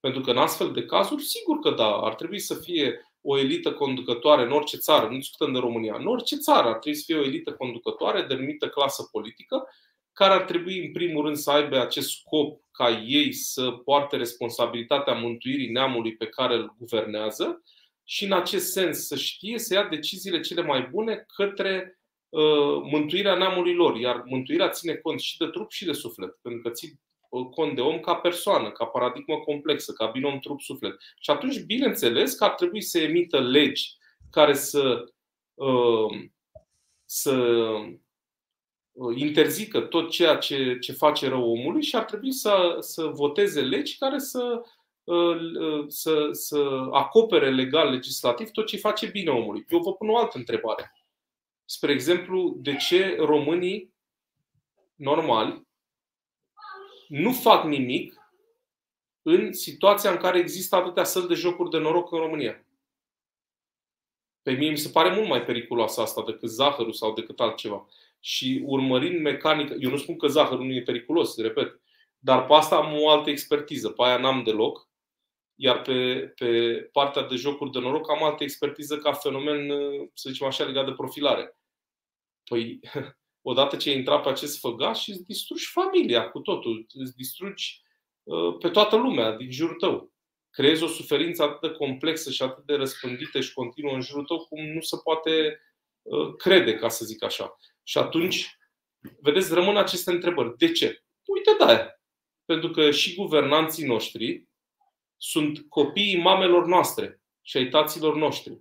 Părinții lor trăiesc împătimiți în această falsă libertate de după 90, departe și despărțiți de Hristos, și așa s-au adăpat și copiii lor din această depărtare de Hristos. Și au ajuns astăzi președinți și guvernanți și miniștri și așa mai departe. Și ei, săracii, fac ceea ce sunt ei în interior, adică votează legile care sunt în acord cu patimile lor. Nu e niciun mare secret.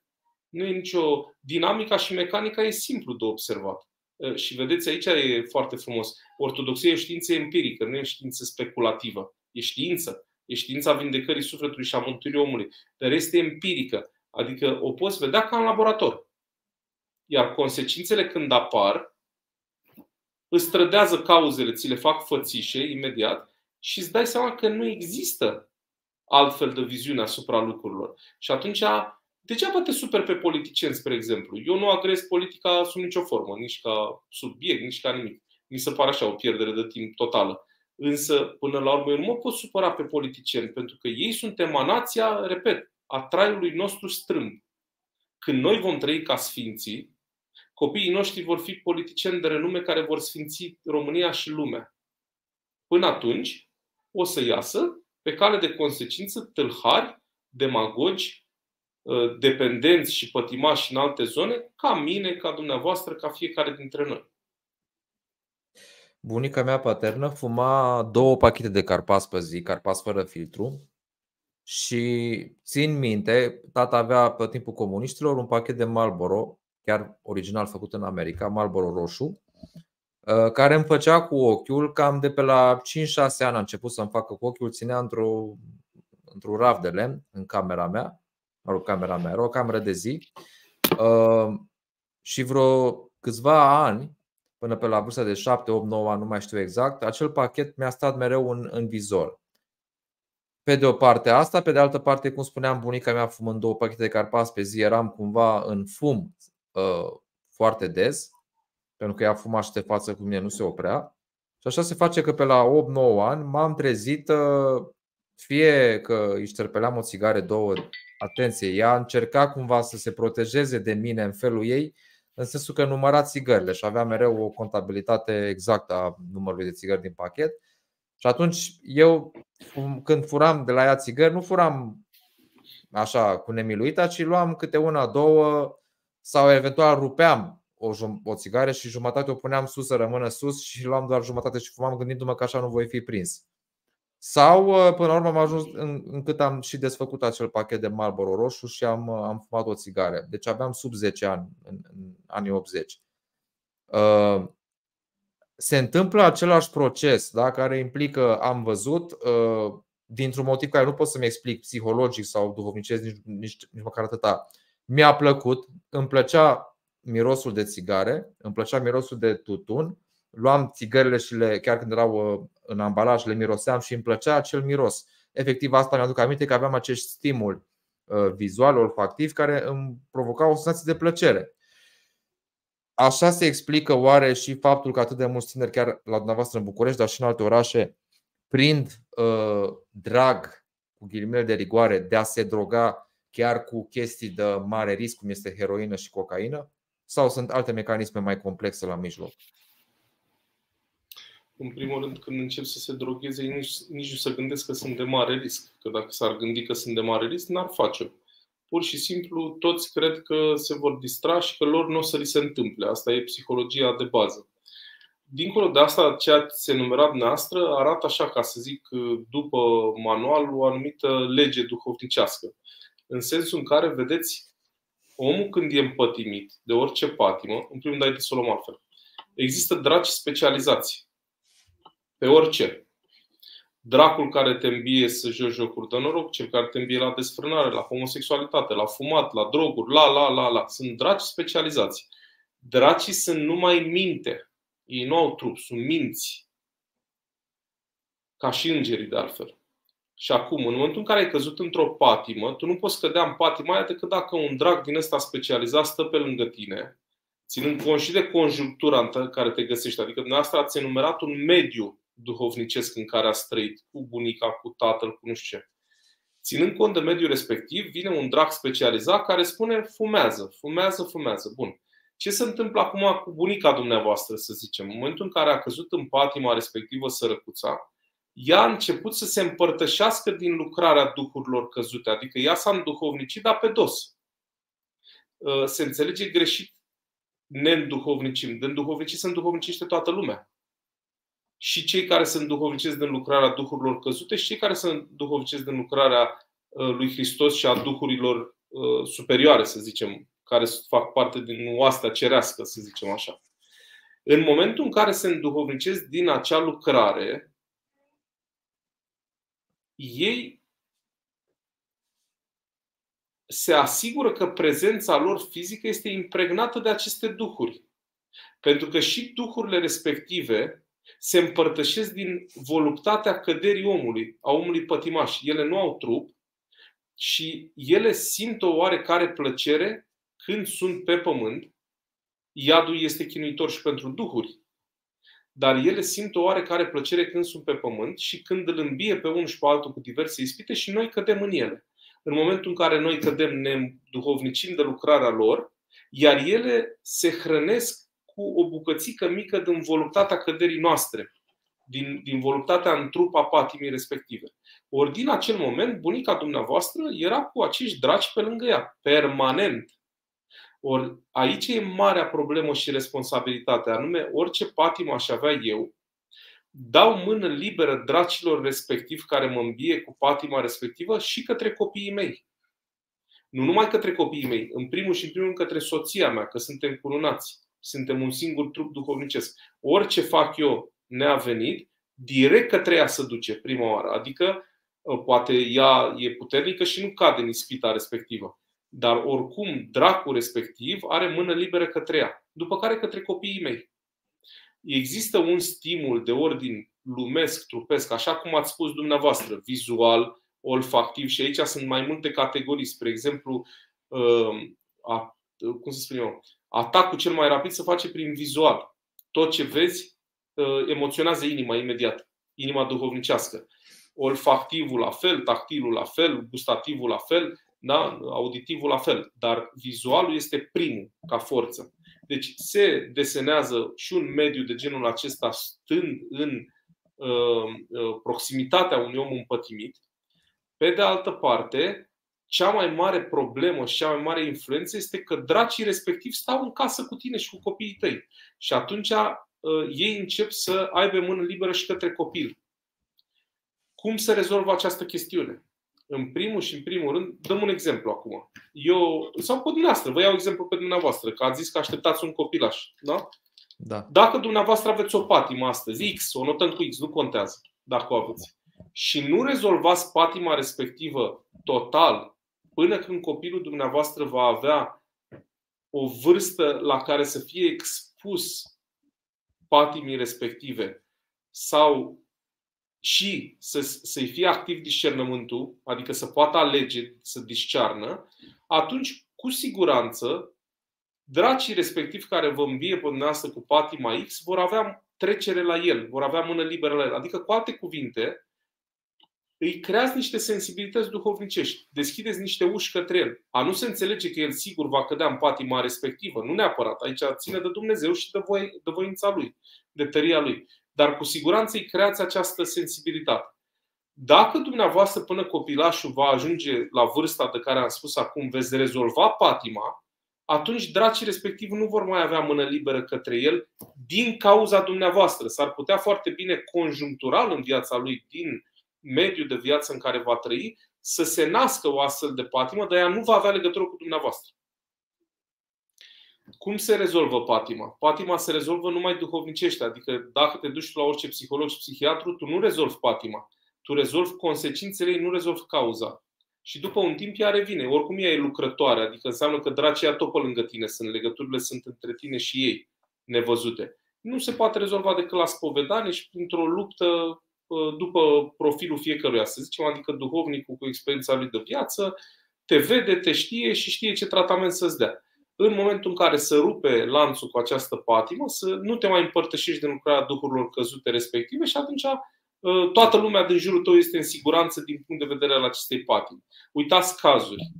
Tatăl 90 de ani, fiul 60 de ani. La 90 de ani tatăl cade în patima băuturii. N-a avut-o până atunci.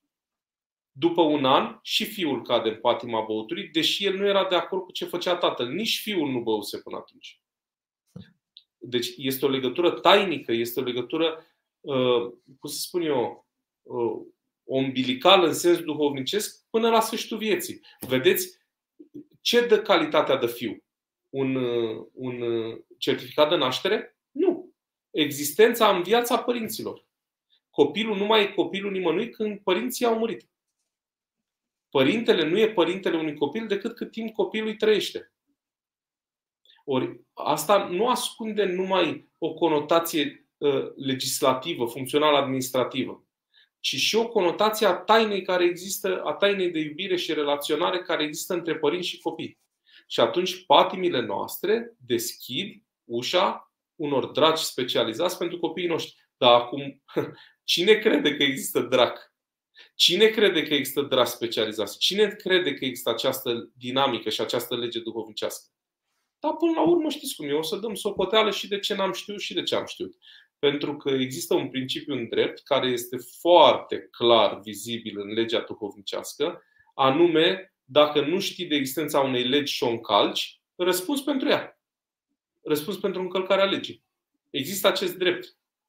Există acest, uh, acest principiu în drept. Nu știu cum se numește, are o denumire specifică. La fel și în legea duhovnicească. N-ai știut de lucrurile astea și le-ai făcut, vei da socoteală. Că copilul tău a picat în patima respectivă. Tu nu poți să-i spui lui Hristos, stai, Doamne, că n-am știut. Cum mă n-ai știut? Dar n-ai, n-ai auzit clopotele de la biserică, n-ai auzit biserici, nu te-ai dus și tu odată să întrebi ce se întâmplă pe acolo? N-ai întrebat și tu în jurul tău, ai trăit așa uh, bulgăre de pământ, cum spunea Părintele Arsenie Papaceu, tu n-ai întrebat pe nimeni nimic în viața ta? Adică nu merge că n-am știut. Din păcate nu merge. Se dorește legalizarea cannabisului până la 3 grame și se vorbește de beneficiile medicale ale cannabisului. Ce ne puteți spune din perspectiva asta? Este real uh, tratamentul pentru anumite afecțiuni medicale cu acest cannabis medical? Știm că în America, în anumite state, este practicată chestia asta. Dacă da, cum facem să rămânem doar pe principiul medicinal al cannabisului și să nu ajungem în altă zonă, așa zis recreativă sau chiar de uh, folosire a, a sa în alte scopuri care te vatămă și cum vedeți această uh, dorință o parte a unei societăți de a se legaliza până la 3 grame, pentru că acum, în momentul de față, este ilegal. Dacă ești prins cu o chestie de genul ăla, poți să faci închisoare. Ceea ce unii spun, o parte a societății spune că este uh, ceva absolut uh, stupid să trimiți un om la pușcărie pentru 3 grame de, de iarbă. Păi se trimite la pușcărie pentru că se schimbă încadrarea la trafic nu la consumator. Adică se schimbă de la consum la trafic. Asta este rațiunea. Acum, din nou, și eu nu vreau să evit niciun fel de întrebare, sub nicio formă, dar din nou aș fi obligat să-mi dau cu părerea asupra unei chestiuni în care nu am expertiză, anume partea de cercetare medicală. Am auzit și eu de-a lungul timpului că există diverse forme de a aplica anumite valențe benefice ale cannabisului ca sub formă de ulei sau nu știu ce în partea medicală, din fericire n-am avut nevoie niciodată și nu știu uh, dacă este adevărat sau nu. Deci nu pot da cu părerea uh, uh, cu privire la, la acest aspect. Dar dacă există beneficii, până la urmă, cannabisul fiind o plantă, dacă există beneficii medicale, sunt convins că ele pot fi aplicate într-un mediu medical specific.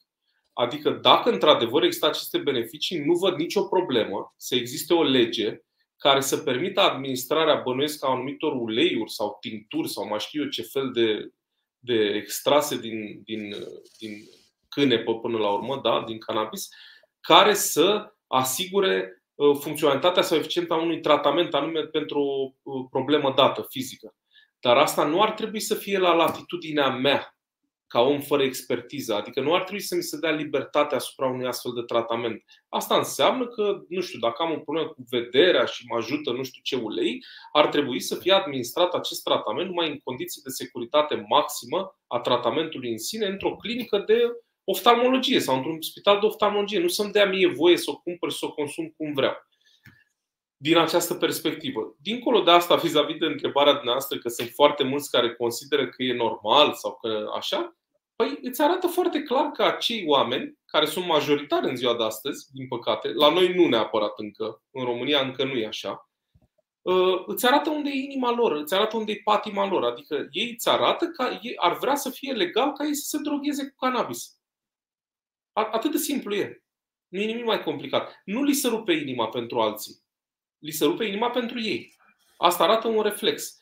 Și asta arată un reflex al societății împătimite. La fel de bine uh, s-ar vrea să se poată merge la volan cu alcoolemie de cel puțin 0,4 la mie. De ce? Pentru că omul vrea să bea un șpriț, o palincă, să urce la volan, să plece, pentru că el are o patimă cu băutura. La fel de bine uh, ar vrea dacă s-ar putea să fim bigami sau să avem patru neveste. De ce? Pentru că omul e desfrânat și vrea să desfrâneze legal. Și aici, vedeți, mai e bagiocorirea omului de către demon demonul vrea. Ce e legea, de fapt? Legea ca instrument este o uh, formă de a autentifica moralitatea unui fapt, a unei acțiuni a omului. Și atunci, vedeți, de fapt, prin lege se vrea autentificarea patimilor, de orice fel ar fi ele.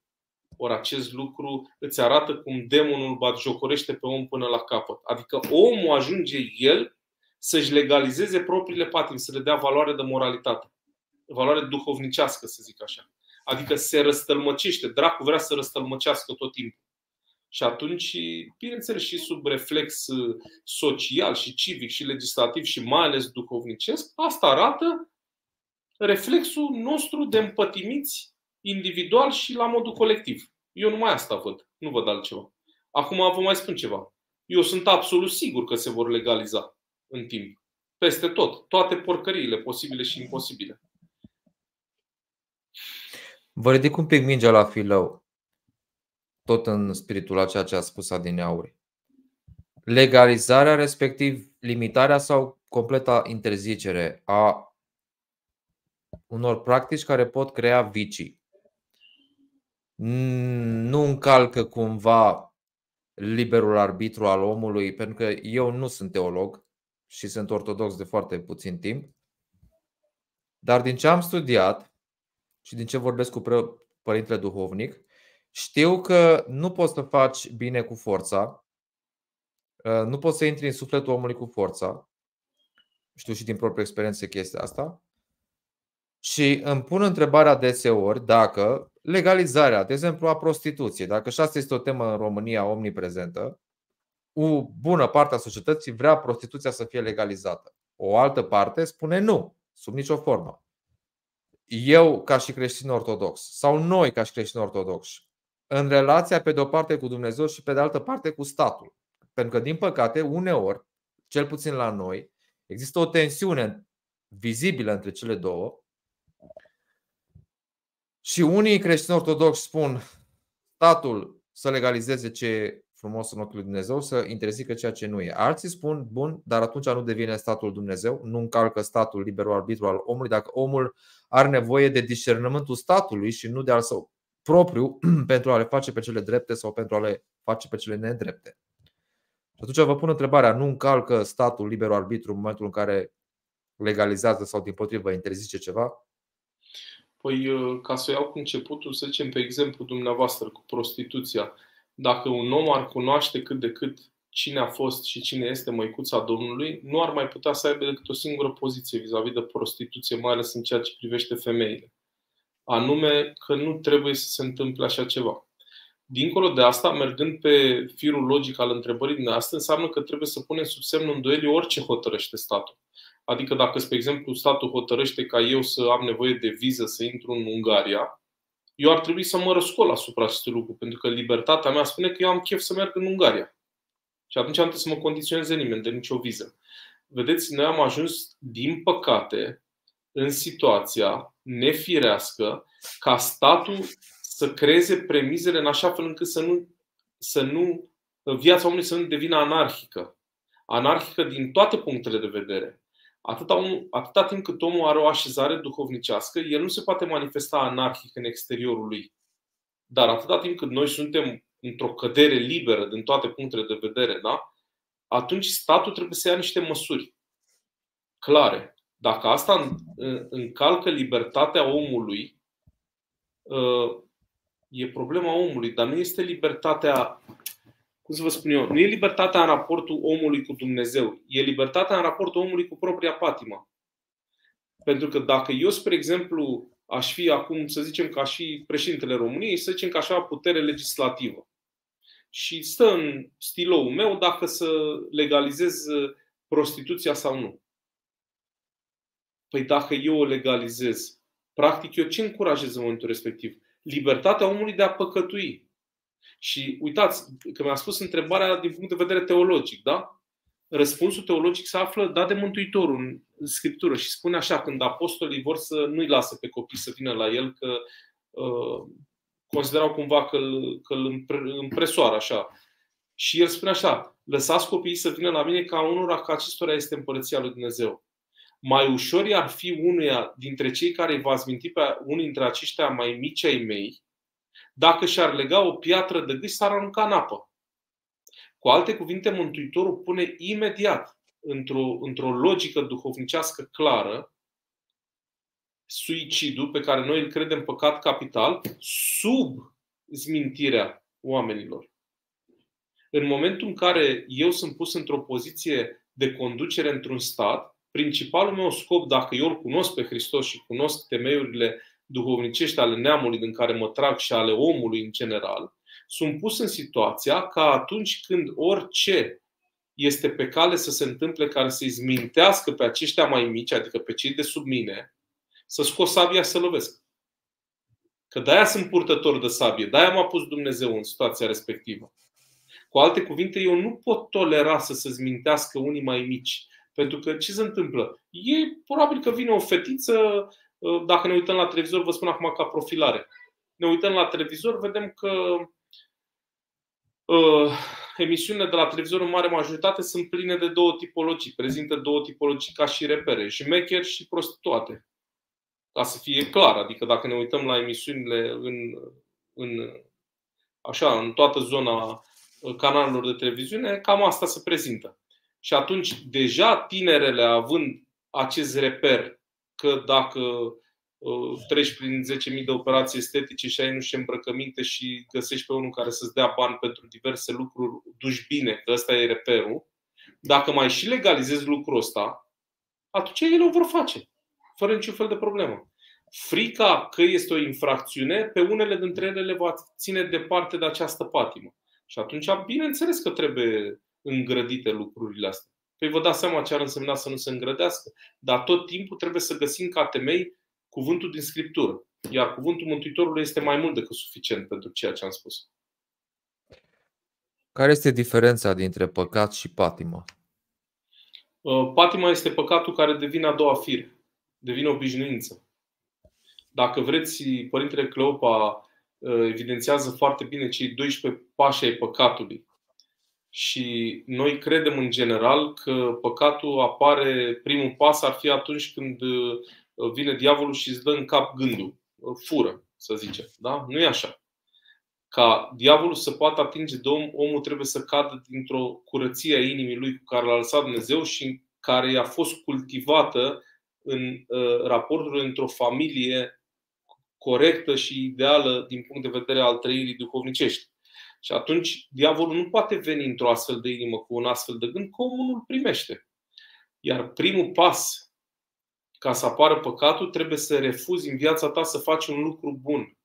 Deci să ai în, în, în, uh, în perspectiva ta apropiată a face un lucru bun și să refuzi să-l faci. Spre exemplu, o bătrână să cadă cu, cu sacoșele în mijlocul străzii și tu poți să te ridici de la masa la care să alergi să ridici sacoșele, să o iei de mână, dar nu o faci, că n-ai chef să pleci de la masă atunci ăla e, ăsta e un păcat al lipsirii, așa se numește în termen duhovnice. Și ăsta deschide prima ușă. Foarte rapid după asta îți va veni gândul să faci ceva bun cu scop rău. Adică, cu alte cuvinte, eu să accept să dau acest interviu în podcastul cu dumneavoastră ca să vadă lumea cât de deștept sunt eu și cât de inteligent sunt și să mă aplaude lumea. Și atunci deja am făcut al doilea lucru care a semănat ogorul inimii mele în așa fel încât dracu să vină la arat, ca dracu să vină să semene. În pasul 3 vine dracu și spune fură. În pasul 4 eu încep deja să uh, mă împotrivesc. Nu, nu fur, nu e normal, nu e corect, nu e moral, nu e legal, nu e duhovnicește. Și începe o luptă. În pasul 5 încep să mă împac cu gândul. Păi și dacă fur și o dată ce are ea? Hai să vedem ce s-a întâmplat extraordinar. Da? În pasul 6 mă decid și spun voi face păcatul, voi fura. Și încep să mă gândesc. În pasul 7 îl fac. Și aici am păcătuit. De-abia acum am păcătuit. Vedeți cât de departe suntem?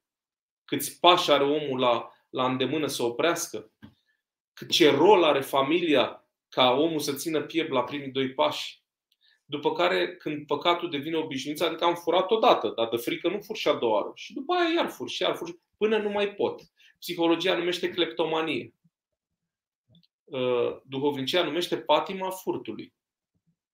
Și atunci patima devine a doua natură, a doua fire, adică nu mă mai interesează consecințele, nu mă mai interesează nici consecințele morale, nici legale, nici de niciun. Nu mai pot. Trebuie să fur în continuare și uh, aici se uh, uh, instaurează patima. După asta mai urmează niște pași și penultimul este deznădejdea și ulterior este suicidul. Să știți că orice păcat, dacă este scăpat de sub control și nu se luptă cu el, ajunge în patimă, ulterior în deznădejde și în suicid. Este o lege a firii duhovnicești. Dar am făcut iar pe deșteptul. Deci diferența între una și alta este că patima este faptul că păcatul devine a doua fire. A spus că părinții nu știu cum să crească și să iubească părinții în România. Pe de altă parte, YouTube-ul este plin de podcasturi în care se vorbește despre parenting. De da. asemenea, se fac strategii de stat Uh, care se transmit mai departe prin programul școlară, prin inspectoratele școlare, în școlile de stat, cumva devin obligatorii și în școlile private, lucru care din punctul meu de vedere nu este chiar corect, pentru că dacă îmi trimit copilul la o școală privată ar trebui să decid eu asupra programei, nu statul. Și pe de altă parte, inclusiv în companii, în anumite companii, în anumite multinaționale, se vorbește de parenting. Parenting, parenting. Din punctul dumneavoastră de vedere, care este metoda corectă de parenting, ca să rămânem în, acest, în această romgleză? Uh, pentru că bănuiesc că și părinții din uh, mediul secularist nu vor să-și vadă copiii cu acul în venă sau uh, țintuiți de telefon toată ziua. Bănuiesc eu, e o prezumție proprie.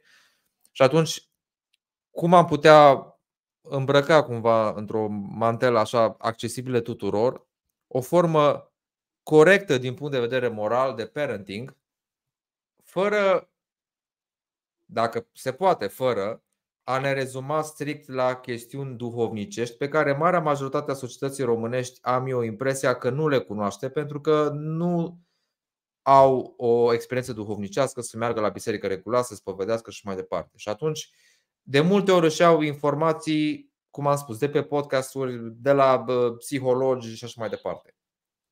Uh, o să încerc să definesc fără a mă rezuma efectiv la asta, deși nu e corect.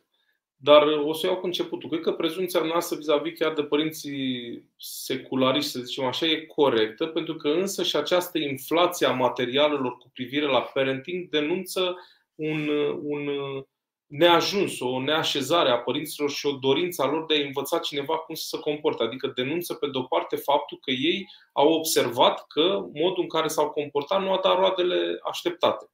Deci, din acest punct de vedere, n-aș vedea o problemă faptul că există acest, această inflație de, de materiale, ci faptul că aceste materiale sunt egale cu zero, din punctul meu de vedere. Acum, o să încep prin a mă rezuma la asta și pe aia o să încerc să, să explic altfel lucrurile. Hristos spune clar, eu sunt calea, adevărul și viața. Fără El nu există viață, nu există adevăr. Deci fără a mă raporta la faptul că eu sunt nemuritor, copiii mei sunt nemuritori și ar fi bine să devină sfinți, nu pot să iau în calcul o variantă de viață, în primul rând, de viețuire. Iar educația copiilor face parte din viețuirea noastră uh, individuală. Dincolo de asta, să spunem că discutăm despre niște oameni care nu-L cunosc pe Hristos, nu cunosc nimic din partea duhovnicească. Să se rezume măcar la bun simț, măcar să vrea să crească un om cum se cade. Acea rușine care exista înainte. Să crească un copil cu rușine de oameni, cu rușine de societate, în corectitudine, dacă vreți, în sens moral, să se rezume la cele 10 legi din decalog. Măcar la alea și alea vor deschide inima copilului să-L cunoască pe Hristos mai târziu. Dar fără Hristos nu merge nimic. Nu se desăvârșește nimic. Dar acum să zicem, oamenii respectivi n-au auzit de Hristos. Bun, ce nu știi că n-ai voie să furi? Nu știi că n-ai voie să minți? Nu știi că n-ai voie să tâlhărești, să violezi, să te droghezi? Bineînțeles că știi lucrurile astea. Atunci dă măcar aceste principii copilului tău. Cu gândul de a fi cum se cade, dacă nu cunoști că el poate să fie sfânt și Dumnezeu după har. Nu cunoști, nu știi lucrurile astea. Bine, bă, măcar cum să cade să fie. Cu rușine de oameni. Ultima întrebare, domnule Mihai Vladu. Ce facem în situația în care, așa cum ați spus uh, anterior, copiii pot moșteni patimile ale, ale părinților? Bine, ați spus că în cazul în care eu reușesc să-mi vindec patima sau pări, ambii părinți, că poate ambii părinți au niște patime, reușesc să-și vindece patimile până în momentul în care copilul ajunge la vârsta de discernământ, atunci el este oarecum ferit. Dar să zicem că nu reușim. Da. Exemplu eu, mă dau iarăși pe mine exemplu personal ca să nu bat câmpii. Uh, patima mâniei. Da? Să zicem că nu reușesc să-mi vindec patima mâniei până când copilul meu ajunge la 6-7 ani. Și să spunem, ceea ce probabil se va întâmpla, că în situații prea multe, mai multe decât aș, îmi doresc eu, îmi voi ieși din fire și copilul va fi martor. Care este finalul pentru el? Eu aș zice, în primul rând, să redefinim problema și să spunem că cu siguranță veți scăpa de această patimă cu ajutorul Maicii Domnului. Uh, dacă părintele nu scapă de o patimă anume, atunci trebuie să suporte consecințele. Pentru că, vedeți dumneavoastră, și faptul că copilul lui va cădea într-o patimă de genul acesta, sau poate că nu va cădea, dar dacă va cădea, ă, oricum ar fi, orice patimă aș avea eu, dacă eu am patima mâniei asupra copilului meu, el poate că nu va fi mânios, dar va pica în alte patimi, pentru că eu, cât timp am patima mâniei, copilul nu va simți că îl iubesc. Dacă, spre exemplu, ă, copilul sparge o vază și eu îl iau la bătaie sau urlu și țip, nu asta este ceea ce are el nevoie. El are nevoie să audă cum să se comporte ca să nu mai spargă altă vază, adică să simtă iubire în orice situație. Ori, orice patimă așa pe care eu nu o corectez duhovnicește, va da naștere la cel puțin o patimă în sufletul copilului meu. Nici nu contează că e aceeași sau nu. Ori în momentul respectiv trebuie să-mi asum că voi suporta consecințele, pentru că patimile copiilor mei vor deveni bici pentru mine. Comportamentul lor pătimaș, în orice fel de patimă s-ar afla, va deveni bici corector pentru mine mai târziu. Spre exemplu, eu sunt mânios și copilul meu se va droga. Păi când se va droga, o să mă înjure, o să mă bată, o să mă scuipe, o să fure din casă, o să ajungă la pușcărie, o să moară. Și toate astea mă vor durea enorm. Și atunci, ca orice om cu libertate de alegere și cu bărbăție, bărbăție însemnând statornicie în Hristos, trebuie să-mi asum că dacă nu scap de patimă, voi da naștere altor patim pentru copilul meu sau acelorași patim și să mă aștept ca comportamentul lui să devină un bici director pentru mine. Și când s-o întâmpla asta, să nu dau vina pe nimeni altcineva decât pe mine. Că nu le-am corectat când trebuia. Și în afară de asta n-am ce să fac. Cu asta defilez. Îmi cer iertare, dar prin ceea ce a spus mă forțați să vă mai adresez o, o ultimă întrebare. Știu, am spus că e ultima, dar m-ați forțat cumva. Hai să o luăm și din sens invers, de la da. copii la părinți. Cumva, anumite chestiuni pe care le-ați menționat acum, adineauri, uh, le regăsesc în familia mea între mine și tata, care da, nu, mai, nu mai e, e printre clar, da. Uh, care trebuie să fie atitudinea copiilor față de tatăl dacă Patimile tatălui au ajuns și la copil într-o formă sau alta. Copilul la un dat s-a răzvrătit și a făcut exact ce ați spus, adică a întors mânia și alte patime împotriva tatălui și l-a făcut pe tată să sufere. Iar după aceea tatăl, nu m-am să termin, după aceea tatăl nu a mai făcut pace cu acest fapt și prin urmare nu a mai făcut pace cu fiul. Adică discutăm un cazul nostru specific. Da. Da. Păi, uh, cazul e foarte simplu. Uh, dacă nu a făcut pace cu dumneavoastră, da, haide să nu zic asta. Dacă, dacă nu s-a ajuns la acest uh, moment înainte să treacă la Domnul, dumneavoastră nu aveți decât o singură resursă acum. În primul și primul rând, trebuie să înțelegeți că așa a știut el să vă iubească la momentul respectiv. Probabil că omul nu știa de aceste patim, de mecanica lor, de, sau poate fi știut și a fost și el neputincios pentru că toți suntem fragili, toți avem o anumită fragilitate. Și atunci, uh, pur și simplu, trebuie în inima noastră să-l iertați și asta nu se poate face decât atunci când admiteți cu adevărat că el v-a iubit cum a știu mai bine. Deci trebuie să vă împăcați cu acest gând, nu în sens de psihologie inversă, ci pentru că așa e. Omul respectiv așa știu să vă iubească. Și atunci, pornind de la acest aspect și de la ce vă pune la îndemână biserica, vedeți, biserica ortodoxă e singura care pune într-un raport existențial fără o preliște vii cu adormiții. Noi nici nu avem morți în biserica ortodoxă, avem adormiți. Și atunci, dumneavoastră aveți acum Uh, posibilitatea, vă spun o chestiune, că asta am vrut să zic la început, dar uh, mi-a fost frică să nu o uh, definesc în termeni nepotriviți, dar acum vă spun. Dânsul nu mai poate face pace cu dumneavoastră. Oriunde s-ar găsi. Poate să fie în rai, poate să fie în iad, de Doamne să nu fie acolo. Dar nu mai poate face pace cu dumneavoastră dânsul. Dar dumneavoastră puteți să faceți pace între dumneavoastră și dânsul. Adică, oriunde s-ar găsi dânsul, vă explic așa, legea duhovnicească concretă, pragmatică. Să zicem că este în rai, să dea Dumnezeu să fie acolo, nu știm, nici nu m-aș îndrăzi să mă bag în așa ceva. Le luăm doar ca uh, empiric. Da?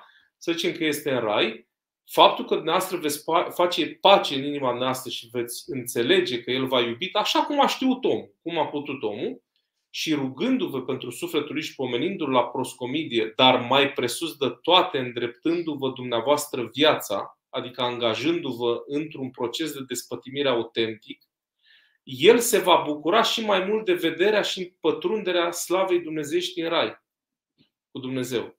Dacă cumva, Doamne ferește, Tatăl dumneavoastră este în iad, prin aceleași instrumente și mecanisme, dumneavoastră puteți să-l scoateți de acolo, adică să-i forțați mâna lui Hristos pentru iubirea și jertfa dumneavoastră, pentru că e o jertfă să te lupți cu propriile patimi, e o jertfă să rup din tine și să spui Tatăl meu pe care l-am învinovățit, de fapt m-a iubit, iartă-mă, Doamne. Prin jertfa dumneavoastră, în mod pragmatic, pertinent, aveți ocazia să îi uh, forțați mâna lui Hristos să-l scoată din iad, dacă o fi acolo. Vedeți, asta e valabil nu numai pentru adormiții noștri ca părinți sau pentru orice adormit pe care noi nici nu l-am cunoscut. Aud eu acum de la dumneavoastră, tatăl noastră, o să vă întreb cum îl cheamă, îl pun eu pe pomelnicul meu la psaltire sau la proscomidie și îi spun așa, Doamne, te rog, uite, eu încerc să rup din mine, să mă despătimesc, te rog, te rog, ajută-l și pe omul ăsta, pe X, cum îl cheamă. Aici este raportul tainic. Vedeți, ortodoxia răspunde la absolut tot răspunde la, la toate problemele și a vieții ăsteia și a vieții celelalte.